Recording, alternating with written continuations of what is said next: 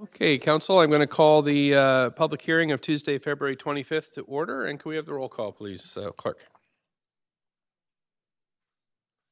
Yes.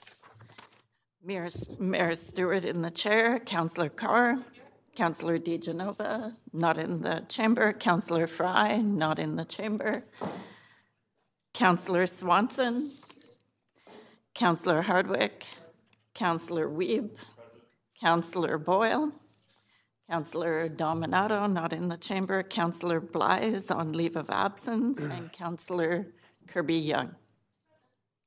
You have quorum. Thank you. Uh, before we begin, I'd like to acknowledge we're on the unceded traditional territories of the Musqueam, Squamish, and Tsleil-Waututh, and thank for them for having care for these lands for millennia, and enjoying working with them as partners as we move forward to building this great city together. I want to thank all the staff who do an awesome job every day, and uh, thanks so much for that. Um, just to remind folks that are attending today. Uh, about the uh, conduct in the public gallery. So I'd like you to uh, refrain from addressing council members without permission or applauding or otherwise interrupting council member or speaking, speakers addressing council. And if you could respect my direction as chair so that we can create a respectful environment for council, the public, and staff at today's meetings. Uh, just so everyone knows, speakers have five minutes to make their comments and should limit their comments to the merits of the report being considered and state whether you oppose or support the report, uh, the recommendations. You may only speak once as a speaker, and you can follow along at Twitter uh, on Twitter at uh, Van City Clerk for updates on the progress of the meeting, meeting, so you don't miss your turn to speak. Any comments in the public agenda can be submitted in writing to public hearing at vancouver.ca. Public hearing at vancouver.ca. Uh, if you're speaking on behalf of a group, you have up to eight minutes to speak, but uh, those folks will also have to be here with you uh, and identified at the meeting either in person or by a representative of the group, and you can't be a speaker yourself. And if we don't hear from all speakers this evening, we'll recess and reconvene the meeting on Thursday, February 27th at 6 p.m. here in council chambers. Uh, just also a reminder that we're a quasi judicial body, meaning that we only consider the merits of the rezoning application or heritage designation in front of us. Council members may ask clarifying questions from speakers, including the applicant, or technical advice from staff, but should save debate for after the close of speakers. After hearing from speakers, council may approve in principle the application, refuse the application, or defer the application for further consideration. Um, let's see. Before I begin, I'd like to remind Council we need to move the recommendation for item one together with the yellow memorandum dated February 25th entitled Tax Amendment, colon, simplified and expanded zoning and development regulations for passive house projects. The memo is intended to provide additional information to Council, but no further action is required. Uh, so now clerk will read the application and summary of correspondence.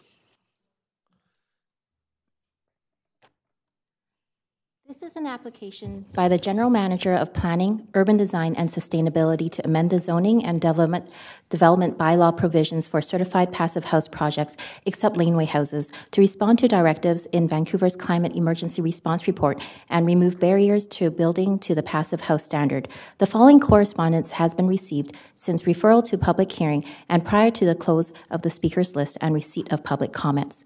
Four pieces of correspondence in support and four pieces of correspondence in opposition. This represents all correspondence received up to 5 p.m. today.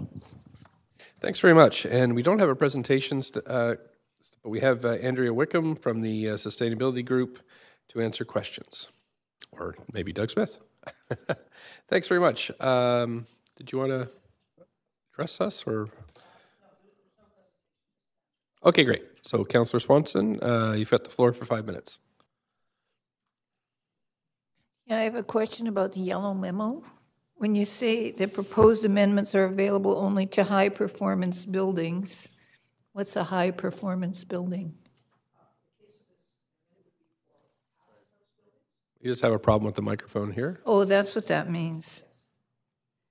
Just one second. I'll just stop your time, Councillor Swanson, while we work on uh, the mics. Don't seem to be working. So it's. Just have to wait, now. Counselor. Yeah. No, it's it's actually uh, Mr. Smith's mic.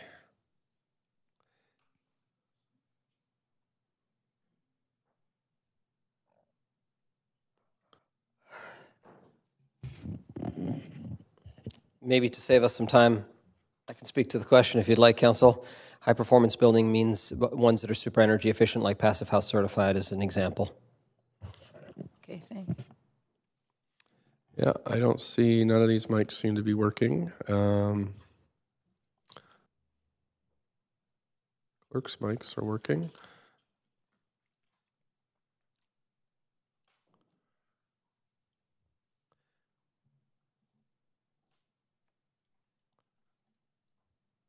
Oh, there we go. Okay, perfect. Excellent. Okay, anything else, Councillor Swanson? Okay, thank you. Uh, Councillor Carr. Yes, thank you. Um, I've got a, a number of questions. My first question is, um, uh, when it, uh, when you use the term passive house standard, um, there's been some confusion on whether that means passive house certified. Um, can you please explain what the difference might be and where do we get the word standard from? So, uh, to introduce myself, my name is Doug Smith. I'm the Director of Sustainability for the City of Vancouver here. Um, when we say passive house standard as opposed to certified, uh, it, it means that you go through the passive house uh, checklist, and there's uh, essentially a spreadsheet that you go through to, to add up a certain amount of points. Uh, the director of planning has the ability to figure out to to agree on what is an acceptable standard uh, to that level. Passive house certified is a little bit higher than what the passive house standard we would look at. So it's a slightly different standard, but it's essentially a very high performance building. And there are some other Canadian versions of that that also um, meet that standard that we would consider. Right. So um, it is our checklist, the City of Vancouver checklist. Uh, no, it's actually the Passive House uh, EnerPHit checklist that is done by Passive House, um, and it would just add up to a certain score uh, for that building. Okay, so I've heard that the cost is higher. Um, is it is it higher if you go actually go through certification or no? It's it is slightly higher for certification. Um, it's kind of you think of it like a hockey stick to get that last couple of percent uh, may require some things that we don't feel are absolutely necessary, especially with our energy grid being um, 100% or 98% renewable. That uh, we don't need to meet the same stringent standards as you would find internationally. Okay, a couple of more questions. Um, how many, uh, there's been concern, and we've had, uh, as council, all of us received correspondence from the Character Home Network um, around uh, the impact that this might have on character homes, and uh, because of the, um, in the, their statement, the disadvantage of um, uh, of uh, retention bonusing for character homes versus for the passive house buildings. So the first thing in the, their correspondence, they talked about the proposal being a 16% increase in FSR for detached homes and 18% du- for duplexes. I'm not reading that in this report. I'm reading it. But so if you could maybe explain that for me. Sure. Um, the actual the, the way this um, program works is when you build to a higher energy, like a passive house standard, you end up with wider walls, uh, you end up with more insulation in the roof, and you end up with uh, more equipment in the building itself, which takes up more space. So the majority of this of, of the existing change that's been in, been in place uh, since 2018 uh, is 12% really associated with that extra space to make sure that the homeowner is uh, made whole. Essentially, they're not being penalized; they're not losing space for building to a higher standard as per the, the city's direction that we want to do. Um, th- there's an additional 4% on top of that 12% that we're giving as an incentive. So the actual incentive to the homeowner is really only 4%. Um, the rest is just to not penalize them for, for doing that. And then a duplex uh, gets slightly more incentive on top Okay, of that. and, and is there an incentive for a owner of a character home or a um, heritage home to uh, renovate to a passive house standard? Yes, yes, there is. So um, the existing character home incentive program is 6%. So if you do a renovation to your character home, you can add 6% density to that house. If you also decide to upgrade to a passive house standard and do energy efficiency at the same time, you can you can stack those two incentives and get an additional 4% on top, which would make a total of a 10%. So there is um, uh, sort of additional incentive to do both. Okay, so, um, so that would be, uh, a four, compared to the four percent for FSR, it's a ten percent if you retain the home and, uh, make it passive, is in the ca- case of a character home. Okay. That is correct. That, that's good to know. How about how many properties are, are you anticipating being aff- affected? And I'm, I'm thinking specifically of, of, of housing, of properties where there are character homes or heritage homes. That's the concern of people who've been writing into us. Based on previous numbers, we would expect one or two homes a year would be impacted out of the 1,400 that are built every year. Uh, We saw about 10 homes per year take advantage of this over the last few years, uh, but only a small percentage, one or, uh, one or two of those homes would have been character homes. Okay. And um, in terms of um, your hope that some of these extra incentives would um, increase the number of applications, do you have any kind of ballpark of what you're hoping to see in terms of increased numbers of passive homes? We're just at five. Oh, sorry. Okay. Uh, on to Councillor Hardwick. Hi there. I'm going to carry on um, because I'm, I'm looking at uh, Appendix A, page 2, uh, 10.23A4, which talks about um, excluding 16% of the floor area on a one family dwelling or a one family dwelling with a secondary suite. Um, and then I'm, I'm looking at the yellow memo where I see uh, approximately 4% of the bu- building area for a single passive and less bo- for and uh, less the bonus density for character retention at 6%. I think uh, because we're banding these various numbers around, it really would have been uh, help, helpful to chart it out to make it a little bit easier to understand. But could I'm, I'm still struggling with it. I don't know if you uh, totally got it there, Councillor Carr. Could you lay it out for us again? What's going on here? Sure, absolutely. Um, When you build a high-performance house, you need, you take up more space for insulation and for equipment. What we used to do over the last couple of years is a homeowner or the builder on behalf of that homeowner would have to fill out a whole bunch of checklists and actually calculate the amount of space that was being lost to building these high-performance homes. They would submit that to staff. Staff would then do a detailed review and then say, yes, we will give you 11%, 12%, 13%, depending on that calculation we realize after two years of this that um, that's kind of a redundant calculation. It's really consistently 12%. So we're just saying we're going to give you 12% right out of the box to deal with um, the additional space you need to meet these requirements. On top of that 12%, we're now giving the homeowners an additional 4% as an incentive because they're taking a bit of a risk. They're building a type of house that is relatively new to the market. They're, they're putting in new products, different windows, different uh, equipment in that house. And so it's a bit of an incentive to try to encourage people to do it so the marketplace and the builders themselves can learn about this. So the 12% is fixed based on the building itself, and the 4% is the actual incentive. Okay, but still hard to align the yellow memo with um, the main report. Um, the question, uh, here's another question uh, about single-family houses. W- uh, um, talked about single-family houses with with uh, secondary suites. Would this also apply to duplexes? This would apply for, to duplexes, I'm checking, yes. And um, we're talking about character houses and heritage in the same breath, but of course they're two distinctly different things. Heritage having uh, expressed me- merit, and character being uh, just generally described as pre 1940. Um, don't we have a process already where we evaluate those pre 1940 houses to determine whether they're worth saving?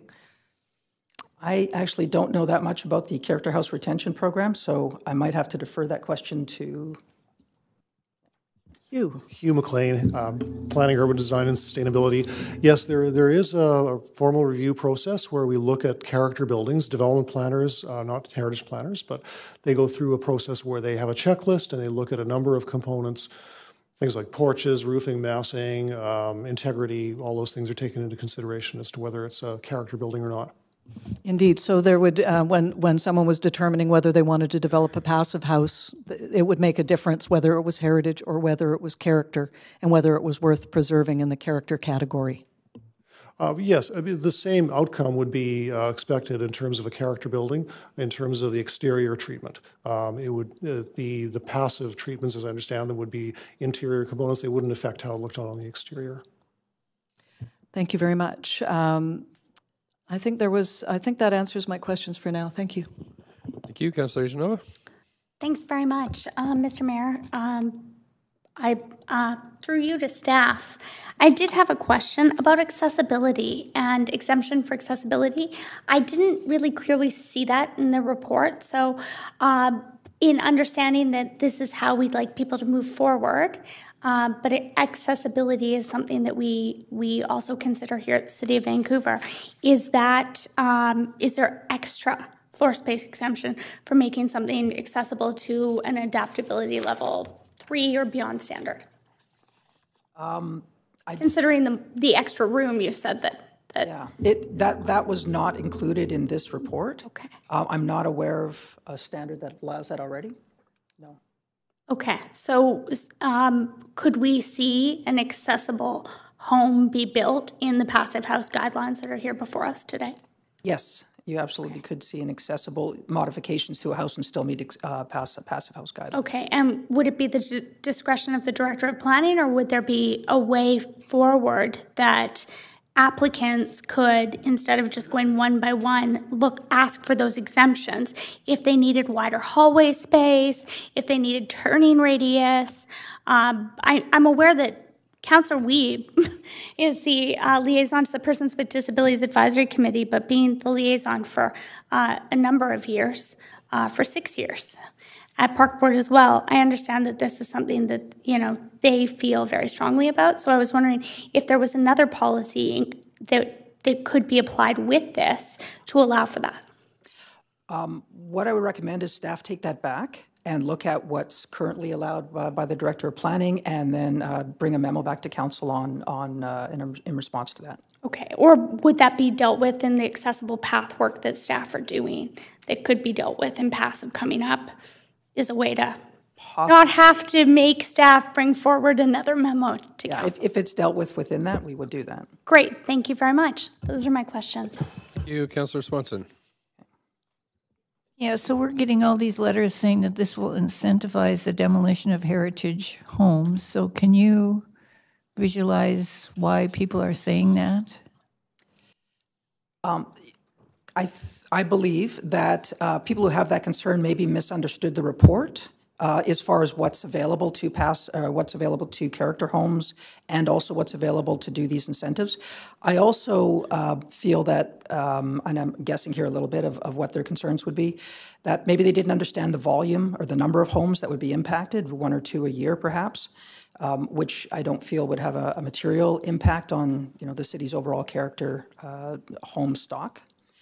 But isn't the incentive supposed to increase the volume? The incentive is to encourage people who are building a new house already to consider going to a higher standard uh, to make it passive house, which will support the industry and move the whole program forward quicker. So they're building a new house, they're not retaining an old one. You can retain the old house and do the renovation at the same time, or you can build a new house. Okay, thank you. Thanks. And that's it for, oh, Councillor Fry. Uh, yeah, thanks, Mr. Smith. Sorry, I'm just trying to figure out the math here. Um, the, so the, for, um, there's a 12%, okay, so there's a 4% bon, there's 12% bonus for the actual space to equip the extra thickness of walls and, and that kind of thing, correct? Correct. And then a 4% additional bonus uh, for just going passive house for a total of 16%. Correct. Now, on the on the heritage incentive side, are, am I following it? There's an extra six percent for heritage uh, retention or character home retention That would be correct. on top of the sixteen. So Top of the you're 16. ending up with twenty four percent. That sound right? Yeah. Yes. Yes. Okay. Or twenty two. Yeah. Sorry, I can't do math. Uh, yeah. All right. Thanks. Thank you. Okay. Councillor Hardwick, you have a minute and 15 seconds. Yeah, I just had a, a little bit left.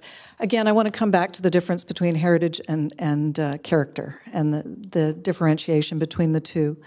Um, we've seen depletion of character homes, and and forgive me, but um, on, certainly on the heritage side, I would like to see no heritage um, buildings uh, deconstructed in connection with passive house, because our heritage houses are so special. Um, I take your point, but we've lost so much, so many character houses, which is why there's a narrative, why there's a a group that we're talking to about this. So I just wanted to, to make sure that that has been considered, um, because character houses, you can say it's no good, we're not going to save it, but heritage must, there's, there should be no exceptions around heritage.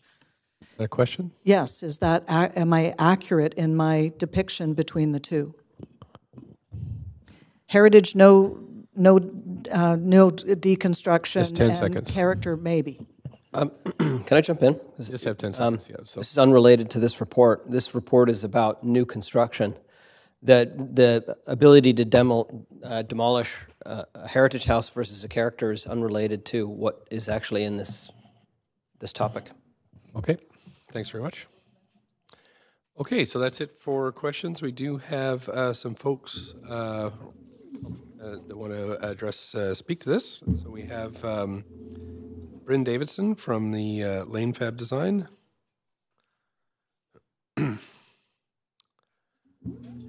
Thanks so much for coming in. You have up to five minutes. You may have questions from councilors. Hi there, I'm Bryn Davidson. I'm co owner of Lane Fab. Uh, we design and build custom homes in Vancouver. Um, for the last 10 years, we've been building every single project beyond the code.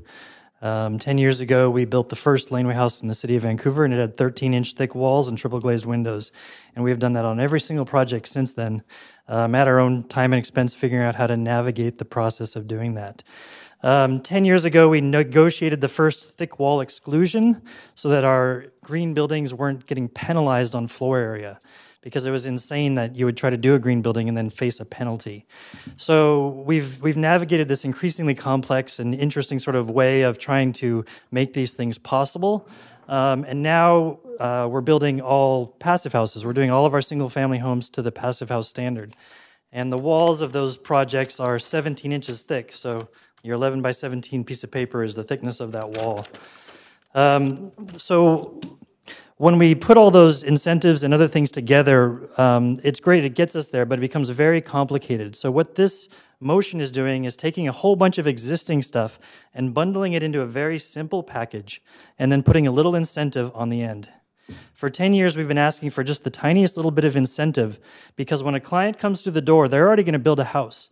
And three quarters of them, I'm introducing the idea of passive house to them.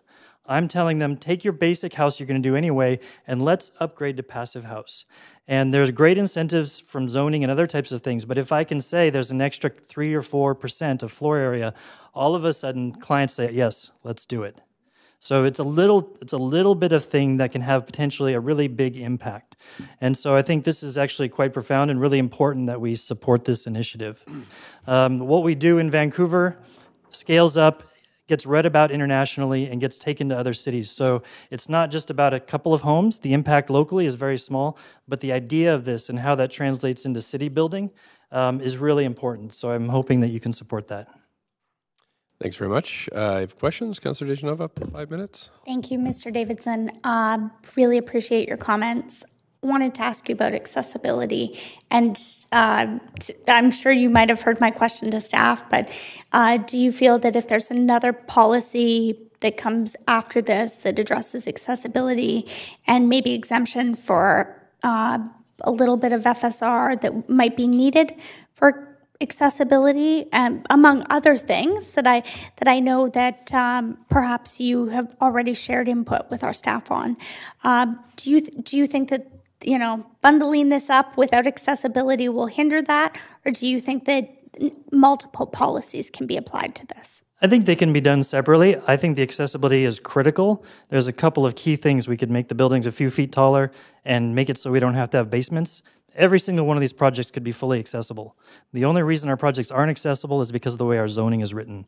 So I really hope we address that, but we can do that separate from this motion, which is also very important. Okay, thank you. Another question that I had, and it, it's uh, more to Councillor Hardwick's question um, around heritage, character. I understand the difference, but uh, both in places in Vancouver allow infill um, in, in the form of laneway homes, uh, perhaps, or um, in, in First Shaughnessy, there's the HRA. I'm just wondering, do you, do you feel that this will be helpful at, at perhaps if, if, uh, if someone wanted to uh, proceed with a laneway home, that it would make it more clear for them to be able to do that on a character home site? Well, this particular policy isn't going to impact laneway houses, and it's not going to impact character at all. Um, there's, it's frustrating because I feel like there's this like a few character folks out there who constantly misrepresent the impact of some of these policies. Ten years ago, they said these same things about laneway houses. Um, we are doing character infill projects, and when we come, the when a client comes to us, it's because there's already they've made that decision not to to tear down or they want to build something new. If somebody wants to come to us with a character house and do it to the house standard, we can do that. But this isn't going. This is only adding four to six percent on a project, and in the case of a duplex, it's less density than if you have a laneway house. There's there's not going to be any impact on the character homes. Um, so I think it's really a kind of it's the same scare tactic that we hear about every single zoning change to, to single family. I wasn't just talking about the character. I was wondering if is there is there a way do you think that this helps find a way to for someone who has a character home if they wanted to build a laneway would this kind of set the as you said uh, before there's been pieces in passive house but this helps to bundle it up? And i'm sorry i won't say it as eloquently as you but offer a small incentive. Do you think that's the next step in getting laneway to that that place as well? Whereas if someone's building a laneway we'd want them to consider um, doing that in a way where maybe they built their laneway and then their main home afterwards. Some people. Well, I, I would love to see passive house incentives applied to laneway houses. Um, it's it's actually a little bit frustrating because we we're, we're now working to make all of our laneway houses built to step four of the energy code. Um, because it's really hard to actually get it to passive house with all the various constraints that we have in place currently. Um, so I think if some of these incentives were also applied to laneway houses, that would be great. We would do we would go even further with those laneway house projects. Um, that's but, what that's what I was I was wondering. I, I also was wondering if understanding this doesn't apply to specifically um, laneway ha- laneway homes, and I will maybe ask staff about this later on, but maybe I don't need to. Um, because because I think it's quite thorough in the report, but this this may um, bring us to uh, laneway homes being having specific standards and also bundling that up with an incentive on them as well. Is that something that you would hope for? That's what I would hope for in the subsequent work plan. Yeah. Thank you. But this is the first step in your first step. Yeah, first important step. Thank you very much. Okay, thank you, Councillor Kirby. Hi, Mr. Davidson. Um, thanks for coming. I always appreciate it when you come to council. Um, so, y- just to be clear, you do work in the passive house space, but you also do work with character homes and and retention. Is that right? Yeah, we have a character infill under construction. We did a couple laneway houses at 19th and Ontario with some rehab work behind a couple of really nice character houses. Okay, so you have you have a foot in kind of both both camps, so to speak. We do both. I, I really love to save good character houses. I've dissuaded clients from demoing good character houses. Okay, so on that note, to the concern that we have received, with some emails that have come in, in your opinion, as a professional that works in the field, you don't see this, the concern being um, a key one of the fact that this will result in demolition of character heritage homes? I just want to be very explicit. I, I don't think it'll result in any new demolition of character homes. I think our character home incentives are fundamentally flawed and need to be fixed. Um, we, in the moment, our character home policies are standing in the way of the high performance multifamily housing, small scale multifamily housing that we need to build in this city. And so our character home incentives, when they were written, were not future proof because they were not written in a way that works with the allowing the city to actually evolve the way it should be doing. Like a passive house fourplex should be a no brainer compared to a, a McMansion. But our policies, the way our, our character home rules are set up, they take forever. They're really expensive, and they're very they're just misaligned with what we need to do. So I would love to fix those, but the way we do it isn't by stopping good projects over here. That's okay. just critical because that it, again and again we see that the character home is standing in the way of good projects, and I'd really want to fix this over here as a separate process. And and just to follow up on that for clarity, why is the character home standing in the way of good projects? Can you expand? Uh, just for instance, you're not allowed to do a duplex with a laneway house, and the only reason that is is because they didn't want to preempt the character home incentive. And so, ideally, if we're looking at the development, if we have a climate emergency and we want to have more high performance housing, a passive house triplex or fourplex or something like that is really an ideal building form, and that should be something that's allowed to do. But if we're precluding those forms because we don't want to preempt our character homes, then we've got a real process problem with our character home incentives and the way they're written. Um, at the moment, our character home incentives treat a tiny little bungalow the same as like a three or four story big character home. Some character homes have really intrinsic fundamental value because of their size and quality. Some don't. And you know that little bungalow that's only 0.3 FSR, no matter what you're going to do, it's never going to have intrinsic housing value. You know the question is, when we tear it down, do we get something of value in its place, or do we just get a McMansion? Mm. So we're having the wrong conversation about character. Okay. But you don't see them as mutually exclusive. You think this advances the passive house can move forward and we should deal with the character separately, but this is not going to negatively impact the character. Not going to negatively. And I would love to do a, a passive, a, you know, character passive house retrofit. Okay. I had some clients talk about it, but it is the process is a challenge. Okay. And final question.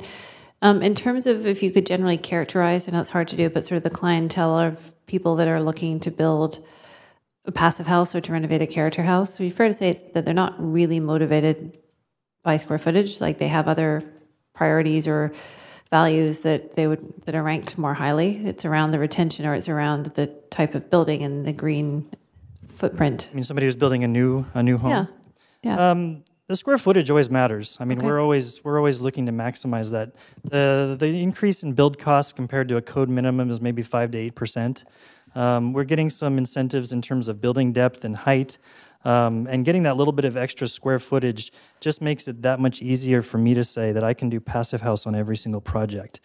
And if we want to build an industry of people where all the designers, the engineers, the builders, the planners, everybody is creating this whole community of, of learning and expansion, then it needs to have that little bit of incentive um, versus sort of doing things as business as usual. Okay. But it's a nudge. It's not a massive. It's not. It's not tipping scales massively, and it's just giving that bit extra. It's just a tiny bit. It's just enough that I can say you're getting this little tiny bit extra, and for most people, that's that's enough to tip them over the edge. Okay, super helpful. Thank you. Thanks, Councillor Hardwick. Five minutes. Hello there. Um, so I take your point. I, I agree. The character home policy is fundamentally flawed. Um, but I did want to touch on one thing because that the, there is an interface that we're experiencing on a continuum. There's no one size fits all model. Um, and I'm trying to distinguish between heritage and the range of character.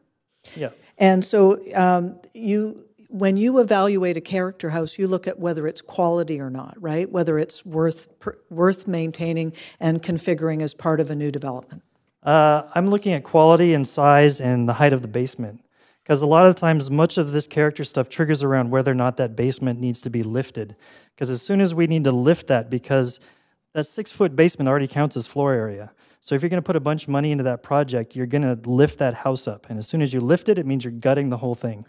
So if there was a way to keep those houses intact as they are, they'd be great existing affordable rental and a number of other things. But the way we deal with FSR, especially around basements, means that these things are often getting gutted. At which point there's there's not really much left of that house. Um, so when I look at an existing character home, I'm looking at the quality of it, um, but also the size. And I think that's something that's been uh, neglected because in the past, in the RT zones, we had a lot of these great big character homes that made really great multiple conversions because they were the inner city streetcar neighborhoods from the 1920s where you had these big homes that made great character conversions. When you get further out into RS, you get these smaller bungalows and lower density things, which have a lot less intrinsic value as housing compared to those inner suburbs. And so we're taking, we're cutting RT character ideas, pasting them to R, onto RS, and pretending like that's going to work but it's a different urban fabric with a different history. And so we need a different approach. And as far as heritage, like if it's heritage listed, let's do whatever we need to save those. That's a totally separate issue, and I'm all on board with that.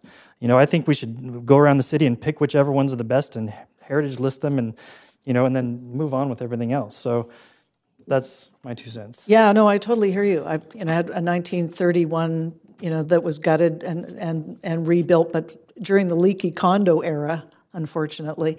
Um, but I take your point, and I just want to be clear that there are houses that are pre 1940 that are not, not really worth saving. So Oh, no, there's, there's definitely ones that are tear downs. I mean, we, we built, just built a passive house at East 37th uh, near Main Street, and that 1920s house was in bad shape. Like it was not something that you were gonna, that you were gonna keep. And in its place, we get a house with a, a basement suite, and it's a passive house. And so the two of them together are using much less energy than that character house was before.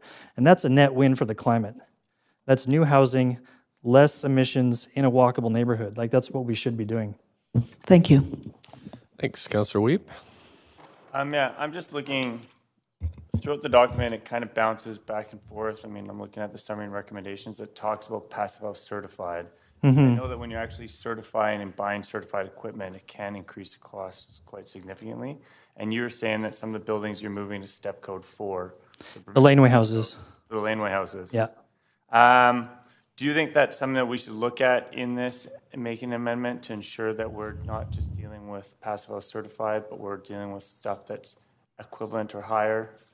I I don't know the the staff can answer, but I believe there is flexibility to say passive house certified or step five or some other zero carbon equivalent. Um, I think there is already a degree of flexibility there. I know we generally right now we are certifying our passive house projects Yeah. because we're being granted additional height and building depth. And my understanding anyway was that those zoning relaxations were contingent upon certification. Okay, so you get an extra bonus thing if you are certified. However, and and some funds that we get from nearzero.ca or from the from ZEBx, they provide a bit of money that's helping to offset the ten thousand dollars of extra modeling and certification costs that would go into that project. perfect. Thank you very much. Thanks, and that's it. Thank you very much for coming in this evening. I really appreciate your your input. Uh, we have Sean Riley next. Same drill uh, up to five minutes, and you may have questions. Sure. So, my name is Sean Riley, and I'm uh, a homeowner here in Vancouver, and I'm actually one of those evil people that's decided to tear down a character house and build a duplex on an RS1 lot. And uh, this decision is something that's evolved over a, a number of years. We've lived in our house in East Vancouver for 20 years now. We have four kids, and we've raised those four kids in 2,000 square feet, and we've made do. But as our children grow and, and our oldest moved out, we started taking a hard look at what's possible on our lot to provide a long term living opportunity for our children. And so we made the decision to look at duplex zoning, duplexes with basement suites as a means of providing a long term home for our family. And so uh, we actually hired Bryn.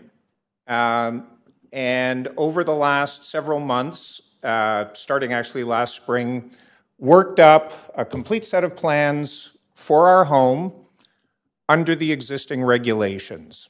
And Bryn has done an amazing job with those drawings, but I found the process incredibly frustrating um, because we kept running up against things. You can't do this. A, a, lot of just little issues. We ended up with a set of final drawings that were okay, but I felt could be better. And at a point in time, Bryn handed me the, the referral report that had been prepared for council. And this document I thought was written about my project because it addresses every issue that we've encountered in the process of arriving at these designs. And we've actually had the opportunity to sit down and, and look at what the drawings are um, under these new regulations. I'm not getting any more rooms, I'm not getting significantly more house, but I'm getting a few very small things that make the final design a little bit better. And you've gotten rid of the frustration of back and forth with city. You know, every time somebody submits something and it gets kicked back because we didn't understand the regulations or they weren't exactly clear, I pay someone to redo that. and the city pays someone to look at it again. So there is a lot of things happening here that is just simply better in the process for, for me as, as I guess the end user. And uh, for those reasons, I really strongly support these changes. Thanks very much. You have some questions? Councillor Hardwick, up to five Hi, minutes. Mr. Riley. Hello. How are you? I'm excellent. I did bring my daughters, by the way. I, uh, they're hiding in the back there. Um, they were going to come up and strongly support it as well, but they're busy coloring. So I, I don't think you're evil. Um, so can you describe, and this is actually going to prove my point, I believe. Can you describe the quality of the character house that you currently have? We we love our house. It is a 1930s. We've never quite figured out exactly when it was built. It has many amazing features in it. Um, but one of the features it was never built with was an, uh, an eave overhang. And so after 80 or 90 years of weather in this climate and periods of time where it was a rental house and periods of time where it was poorly maintained. Um, water has gotten into the framing. We've had areas of the framing that's rotted. Our foundation is pretty inadequate. It's not. We love the interior finishes, we love the character, but the structure itself is in really, really bad shape. And you know, we've looked at what it would take to sort of bring it up to, to just a very basic standard of a solid house. And we could spend hundreds of thousands of dollars to end up with something that provides us no more living space, no better quality of living than what's there right now. And, and for us, that's simply a non starter. We, we simply can't justify that cost. So you weighed the difference between um, any kind of additional FSR that you could get through the character house um, we, door versus what you could get through the. I, the I, I can promise you that Bryn is not lying when he says that he twists his client's arms on, on that. Um, he brought it up at about four different stages as we talked through the design. And um, after 20 years of living in the house and 20 years of fixing everything that was wrong with it along the way, um, I, I'm fully aware of, of just how much work would be required. And at the end of the day, um, the plans we have are a duplex with basement suites four units, we have four children. One day, all of our kids potentially have a place to live. The house we have right now, 2,000 square feet, and our oldest is away at university. At some point in time, he's going to boomerang back to us. And I really want somewhere other than my house to put him. I totally get it. I, I like the intergenerational uh, aspect to it. Um, and it does, you know, conform with the missing middle and gentle density that we want to see in neighborhoods. I think the the the fine point is understanding the balance between the character and the passive house in this case. So thank you very much for your illustration. Thank you, Councillor Kirby-Yung. Um, thank you for being here. Um, so it's good to sort of hear the the actual lived experience. I think Councillor Hardwick touched on it, but just for clarity, you said you get a little extra than you would otherwise. Can you just provide us specifics on what that well, you mean by that? Um, in our drawings, um, one of the reasons that we actually went to Bryn, besides his background with Passive House, um, we've seen some of his laneway house designs, and we knew that fitting everything that we wanted into our house was going to require somebody who was incredibly good at layout and fitting things into small spaces. Um, when we went through the first design, we we run into little issues like he's got to go through and figure out where all these various exclusions fit, and so um, if you have an exclusion for one particular thing, you, you can't apply it anywhere else. Um, you know, you you have to ha- you have an exclusion for mechanical room. I don't pretend to know all of this stuff. When all those exclusions are put together into a single number, it gives us a little bit of flexibility um, to adjust the design a little bit.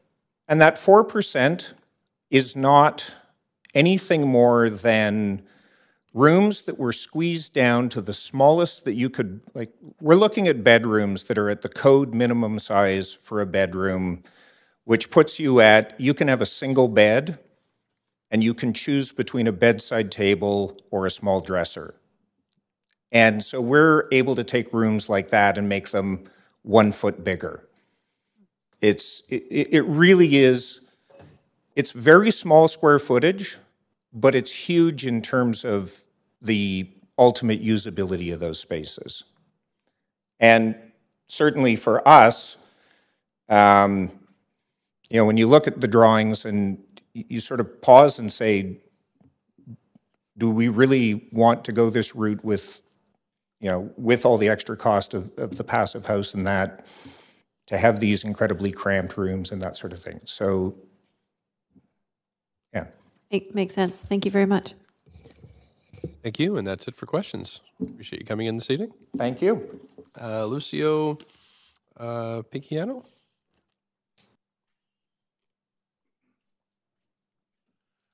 Good evening, Mayor and Council. Thanks for allowing me to speak. Um, I'm Lucio Picciano from DLP Architecture, and uh, we uh, designed and built the first certified passive house in Vancouver in 2016 and have since certified four more in the city with uh, three or four more slated for certification this year. So we have quite a bit of experience uh, both, both on the modeling and design side, but also in uh, twisting the arm of clients to go that route. And this is a, an important point uh, because without incentives, uh, we feel that uh, probably three quarters of our previous clients would not have gone the passive route. That extra FSR that has been described up till now is really crucial. Uh, it is a small step, in our opinion, um, with how we see the urban fabric growing for the future. Uh, but even with these incentives, it's important to note that the massing and the, uh, the morphology of the city really doesn't change very drastically. So on that side, it's a small, um, it, it's, it's a small action to the city, but it really is huge with respect to our uh, climate goals. Today, you, you cannot separate energy efficiency from architecture and design. To do so is simply not socially responsible. Uh, we can easily achieve high energy standards for almost any style, but we need incentives to make this decision more economically viable. This is important uh, so as not to lock in another 50 or 100 years of uh, excessive energy consumption. Now, I'd like to speak towards um, the issue of character, heritage, and new construction. Staff, correct me if I'm wrong, but there's already uh, a bonus uh, FSR for retaining character homes in the RS zone. So um, we're, already starting at a, a different, uh, uh, a non-level playing field when, when we're talking about demo or new construction. Uh, we have actually uh, two uh, character retention projects underway right now. Um, this is one on Parker in uh, just off Commercial Drive at 1725 Parker. Now, this one is a character retention duplex, but did not go the certified passive house route, which for uh, retention is the EnerPHit program. And specifically, the reason why this one did not go that route um, is a lot of these homes uh, are already um, non-compliant with regard to code, and some of those non-compliance issues are, are not relaxable. The one specifically for this project was projection into side yards. So we're already below the one meter projection into the side yard.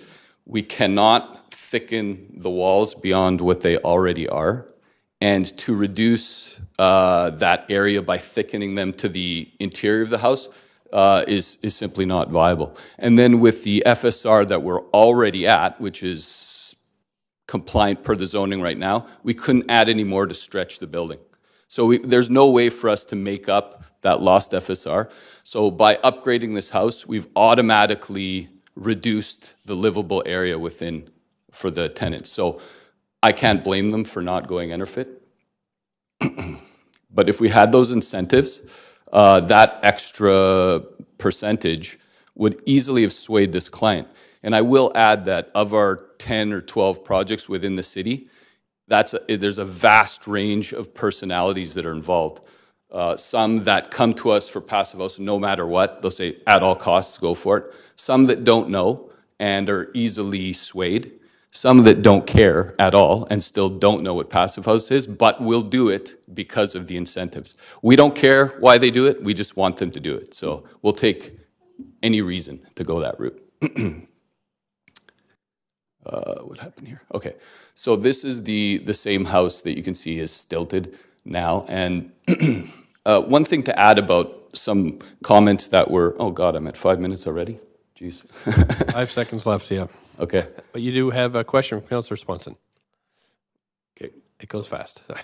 okay, thank you very much, Councillor Swanson. That went by fast. Thank you. Yeah. So these passive houses that you're building, Yes. are they mostly strata or are some of them rental? I've, uh, I've got everything in our office. We have everything from single family with secondary suite to multifamily and everything in between. What would be the rents in the multifamily? The multifamilies right now are only strata, yeah. We have rental in other cities, but not in Vancouver. Okay, thanks. Thanks very much, and that's it for questions. That's it. Okay. Thank you very much for coming in. Uh, Council, that's it for uh, registered speakers at this point. So I'll make a call. Does anybody else like to speak to this item? You'd like to call? I've got a second call. Anybody else like to come up and speak to this? Third and final call. Thanks very much then. So seeing there are no speakers, the speakers list is now closed. Uh, received few or no public comments were received on this item after 5 p.m. today. So uh, we should close the list of uh, receipt of public comments and move on to hearing closing comments. Uh, staff have any closing comments they'd like to make? Okay, thanks. And uh, it looks like we might have some questions for staff. Councillor Hardwick? Questions I- to staff? I was actually going to move the motion, Okay. but I was before. Well, you- it's your privilege. Yeah, you can move the motion. Um, Sorry. Um, I'd I'd like to move the motion, um, and I also have an amendment. Okay, uh, so you're going to move it with, you're, you're going to move it with the, uh, t- your added text? Yes, And the please, yellow which I memo. circulated earlier. Okay, thank you very much. And uh, so we will move to the main queue now. You can do. If you put yourself on the uh, queue. Point of parliamentary. Sure, Councillor De Genova? Thanks, Mr. Mayor. Understanding that we're in a quasi judicial um, hearing, and I'm not concerned that I was on the queue first to move the motion, but I didn't hear Councillor Hardwick use the language of the yellow memo. Um, so I wanted to make sure that we were moving this Right. with the yellow memo. I haven't seen these amendments yet, but um, I'm just wondering if Procedure. if for for legal reasons is is there any Yeah, any reason this should come an amendment should come after a motion at public hearing Sorry? after the recommendations have been moved then okay No, you can move a report with an additional item, and that's what's done here. And we've got a queue, and Councillor Hardwick, please go ahead. Thank you very much. So, um, in addition to point A, um, and referring to um, Appendix A, um, adding on to page two of five there uh, at 10.23.A point, in this case six, um, that um, this not apply to uh, heritage register um, homes or houses and qualified character homes as defined. And I, I think we heard clearly from staff and, and from also from uh, people in the development community that there is a differentiation between character houses and that they should not all be treated the same. So I wanted to emphasize that. But that in every case, I think um, we agree that, that heritage should be uh, specifically protected. And the, it's really a question of competing um, incentives here. We're trying to promote two things, and, and we're trying to find a win win situation between them. So I, am um, a very enthusiastic supporter of, of the pass, passive house movement and what's being done with this memo. I just want to make sure that heritage and qualifying uh, character is specifically respected. Okay, thank you. Um, so that's on the floor, and Councillor De Genova, up to five minutes. Thanks. I have a point of information uh, through you, Mr. Mayor, sure. to staff as to what they because this is very legal. It's a bit different than interpretation here. For sure, absolutely. Um, so thank you for indulging me with this this point of information. Um, what is a qualified character house? Because I don't see a specific policy named here. I was just wondering if qualified character house, because I just I looked it up in our city archives and looking through the development schedule. I don't see qualified character houses a schedule of development. So are you looking for a? I'm, I'm wondering how staff would interpret that, right. considering this is a formal text amendment. Okay. Um, maybe we can start with the city manager.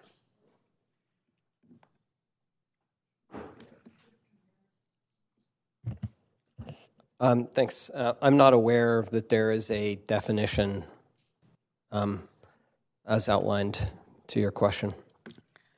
Okay. Can okay. Um, Shailin so, or so Teresa, can you elaborate? Thank you. Sorry, I just realized this is very formal and text amendments. Sure. That's the reason is we're there, here tonight. Is there a definition such as this?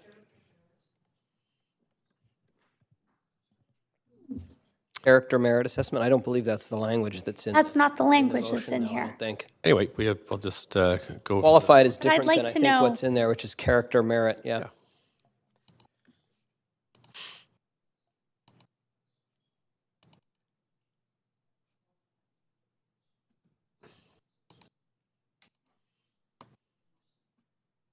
We could take a pause if folks need a check. Could I um, Just one second. move a recess, Mr. Mayor? for Just two a minutes? second. Go ahead. Oh, Thank you. To uh, answer your question regarding uh, Heritage Register and qualified character, there is a formal definition, of course, of the Heritage Register because council must approve any addition or deletion from the Heritage Register. Um, qualified character does not have a formal definition in the sense, um, so I'm not familiar with that. Okay. Okay, thank you. So um, I appreciate that. And for that reason, Mr. Mayor, because I was trying to look up qualified character home, yep. Um, I would ask you to maybe consider a ruling on this amendment. Okay. Just, just maybe. Um, I'm happy to call a recess if you need to consider. No, that's okay. I'll just uh, step out for a second, but I will pause your timer, and you have two and a half minutes left. But I'll talk to if I could talk to the city manager, perhaps the clerk.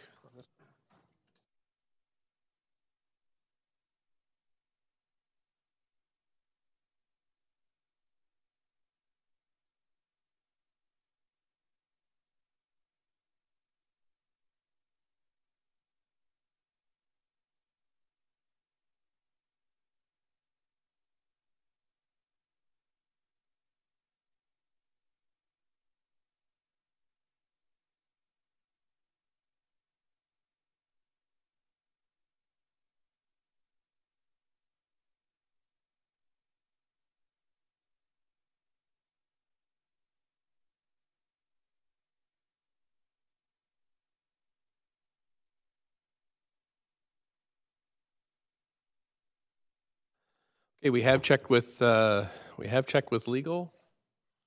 Oh, I have to wait for quorum.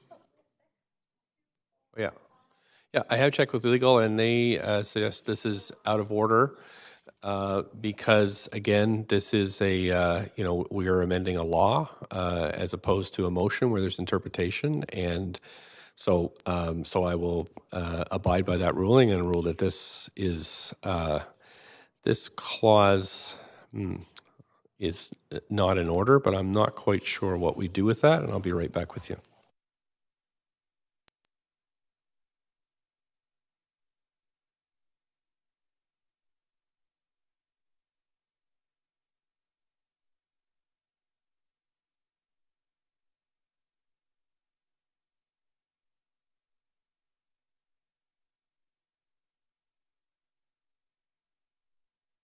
Uh, so, uh, because the entire motion was moved with an additional language that is uh, out of order, then the entire uh, motion uh, the, the, is is out of order, as per usual. It just seems to be longer than usual and is the staff report. So the whole thing's out of order, and we don't actually have anything on the floor. Okay, Thank you. I'm, I'm still in the queue, am I? you are Um, may I move the recommendations with the yellow memo? okay. Thank you very much. Thanks. Do we have a seconder for that? Thank you, Councillor Boyle. So we're, um, uh, right, and that's where we are.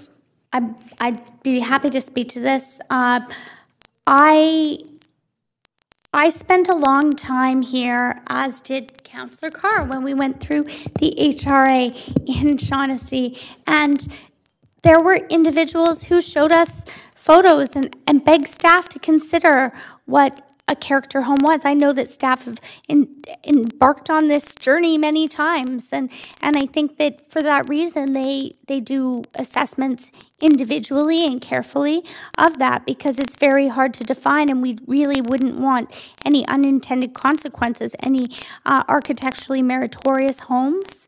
Um, to be demolished, but at the same time, there are homes on the Heritage Register um, that maybe also needed to be reviewed at that time. Um, I'm, I'm speaking to this recommendation considering the fact that the, the previous recommendation was out of order that was tabled. And I think that staff have really been very thoughtful with this in working through how how we're best going to see passive house achieved in the city of Vancouver.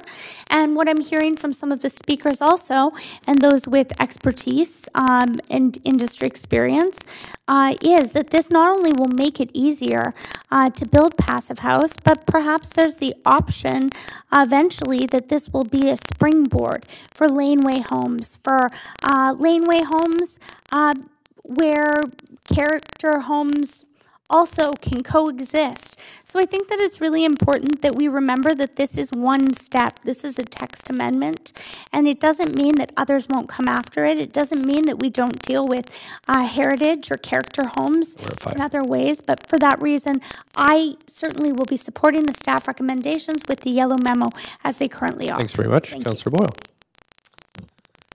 Thanks, and I'll also um, be uh, supporting these amendments um, and will be brief just to say I, I really appreciate the balancing and weaving together of these various priorities and um, helping us understand how they layer on top of each other um, and shape the type of city um, that we uh, that we grow into. Um, and I also think it's really important to recognize that the housing that we're building or uh, retrofitting and repairing now is the housing that our residents will live in for 20 and 50 years. This is uh, these are homes that we need to have be carbon neutral as soon as possible. 10 years ago, but now is uh, as best we can do at this point. And so it's critical that we figure out how as many of the projects that are being built now as possible can be passive house and that we keep moving those incentives forward so that we uh, are addressing this issue as quickly as we can and decreasing the emissions that our buildings produce. So very happy to see this um, and very happy to support it. Okay, thank you. Councillor Hardwick, up to five minutes. Um, ag- Again, I would like to uh, uh, look at bringing back an amendment. It's your privilege. Um, And as I'm just having some technical difficulties, if I could remove the reference to character homes and just uh, Oh, what- heritage? submitted in writing. Uh, Again, this is a quasi judicial uh, hearing, so it's not uh, like a regular council meeting. So um, I was mistaken, actually. You have about uh, three minutes left.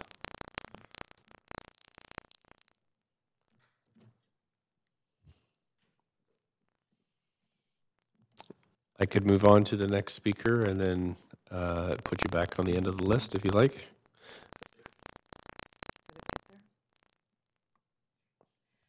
Yes, please, I'll pass. Okay, thank you. Councillor Carr, up to five minutes.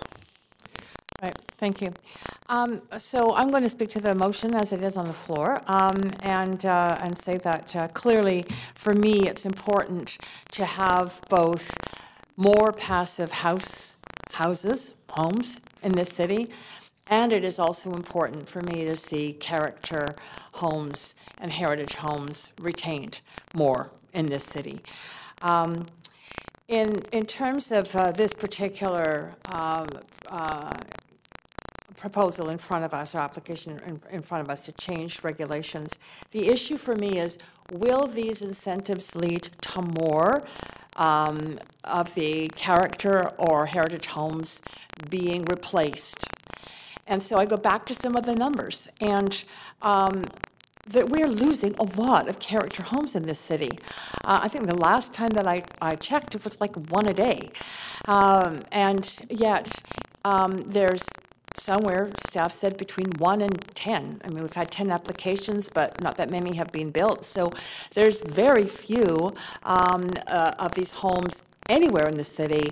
And I didn't ask the question, but I'm assuming that not all of those, or even if it's the maximum of 10 or 4 or even 1, are not on lots that have character or heritage homes. I'm not quite sure, but there's very, very few. So for me, there's a real advantage in moving forward with these because I believe there is a greater good in terms of the of what it's achieving in terms of the kinds of homes we need to move forward with altogether. That is not to say I um, don't believe that there is merit in us looking as a council back at the incentives for retaining character homes and heritage homes, but particularly character homes in this city.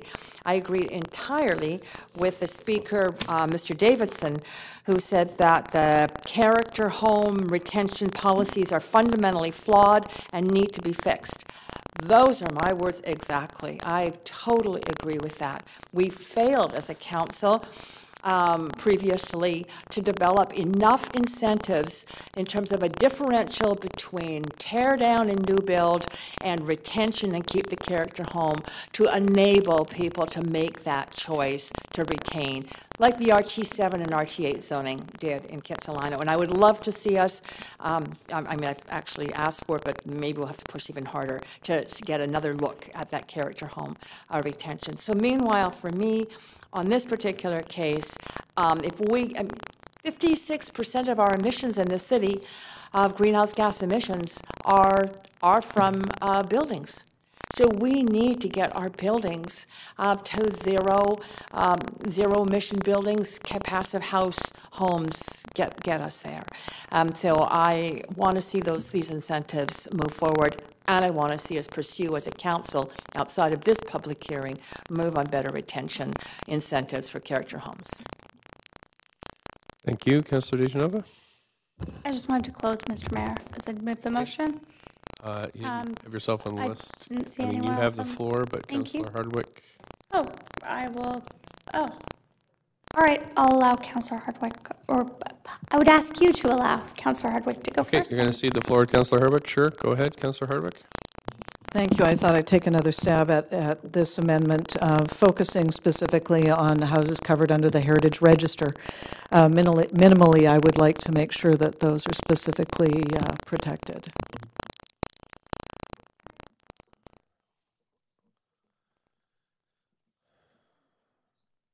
One second.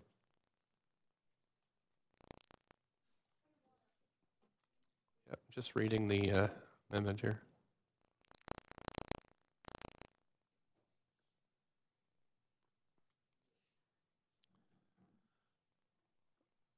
Okay, we have a point of order, Councillor De Genova.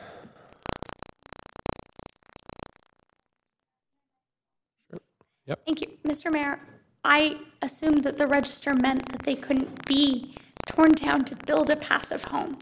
Is that correct? Because right now it says passive house does not apply on properties. So would that, would that then mean that it's the entire property? So if there was infill or laneway home, I, I need that answered because I, I just, I feel that the heritage, sorry, my point of order is the heritage register um, already defines protected properties. So I don't know how we could build a passive home in place of that.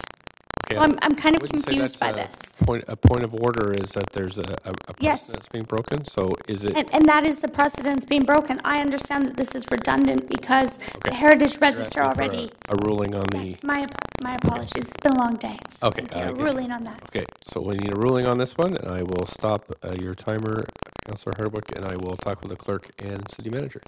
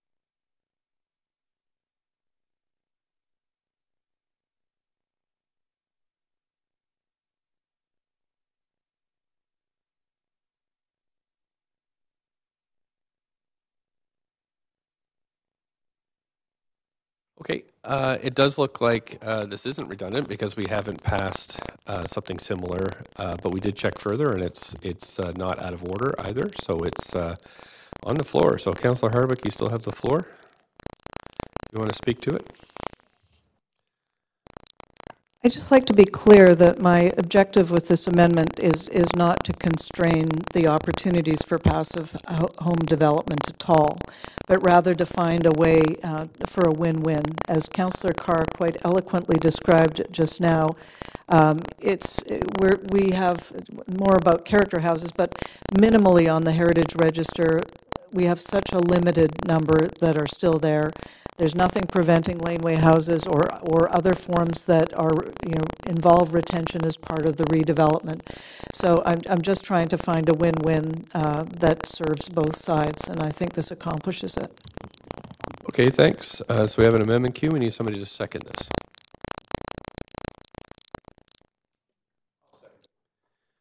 Okey doke. So now we're on the amendment queue. Um, it's clear now. Does anybody want to speak to that? Okay.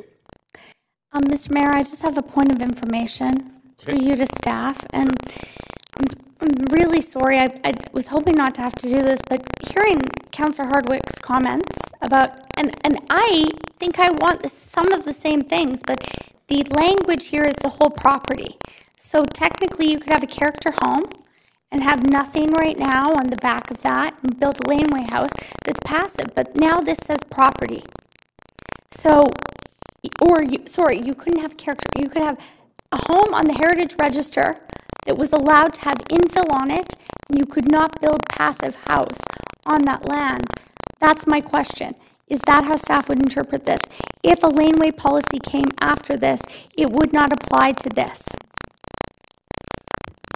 I'm May I ask that question? Uh, perhaps, manager, point of information, uh, perhaps we could steer it over to your, your crew over there?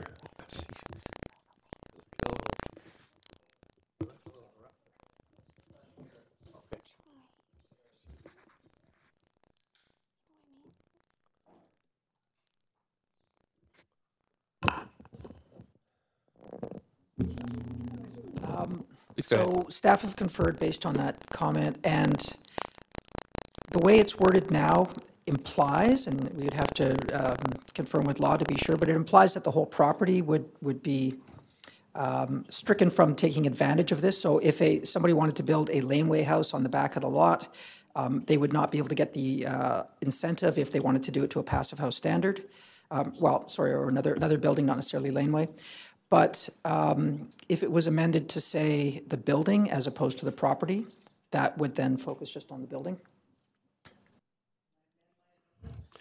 Councillor Thank, Nova thank you very floor. much. Um, I'm I'm going to take myself off the list in, in just a moment, but I'm going to say that if it was amended um, to say that, I'd be supportive of that. I just don't think we need to include the whole property in that. I think that that ties the hands of some of these um, owners of these uh, properties that are on our register that may need to may want to consider this, and it may be the difference for them between keeping their home or not, uh, or selling that, or uh, doing something else. So I, I think we have to consider the unintended consequences, and I don't see anything about this in the public consultation. So I'd be comfortable if it said the property, as staff had said, but I mean, I don't mean to uh, nitpick here, but I, I really, I really would hope, Councillor Hardwick, that you would try again and maybe amend your own amendment, and I could support that. So I'll take myself off the queue. Just wanted to state. Okay, thank you, Councillor Dominato. Uh, my question's been answered. Thank you. Okay, thank you. Councillor Hardwick? Yes. Uh, City Manager? Yeah, go ahead. Oh, thanks. Um, Through the mayor, if I might. Um, Also, uh, if you're going to be making changes, Councilor Hardwick, law has suggested that we change the word "on" to the word "to." Thank you. So about, how- so how about two buildings listed on the Heritage Register? I think that's what you're saying, on buildings? Yep. As opposed to? I'm sorry, I think it's, or the- I two? think you're on the, you're on the wrong two. Okay. And not apply to buildings, I think is the, the, what you're suggesting, right? Yep. Can you highlight the change? So uh, I take it, Councillor Hardwick, you're suggesting an amendment to your, Yes, Amendment? the amendment, and, and uh, I take the city manager's note there. But I, I think the key thing was the replacement of the word buildings instead of properties. right, so if you, clerk, could also highlight I- that, that's right. I mean, that, would- that would now be buildings.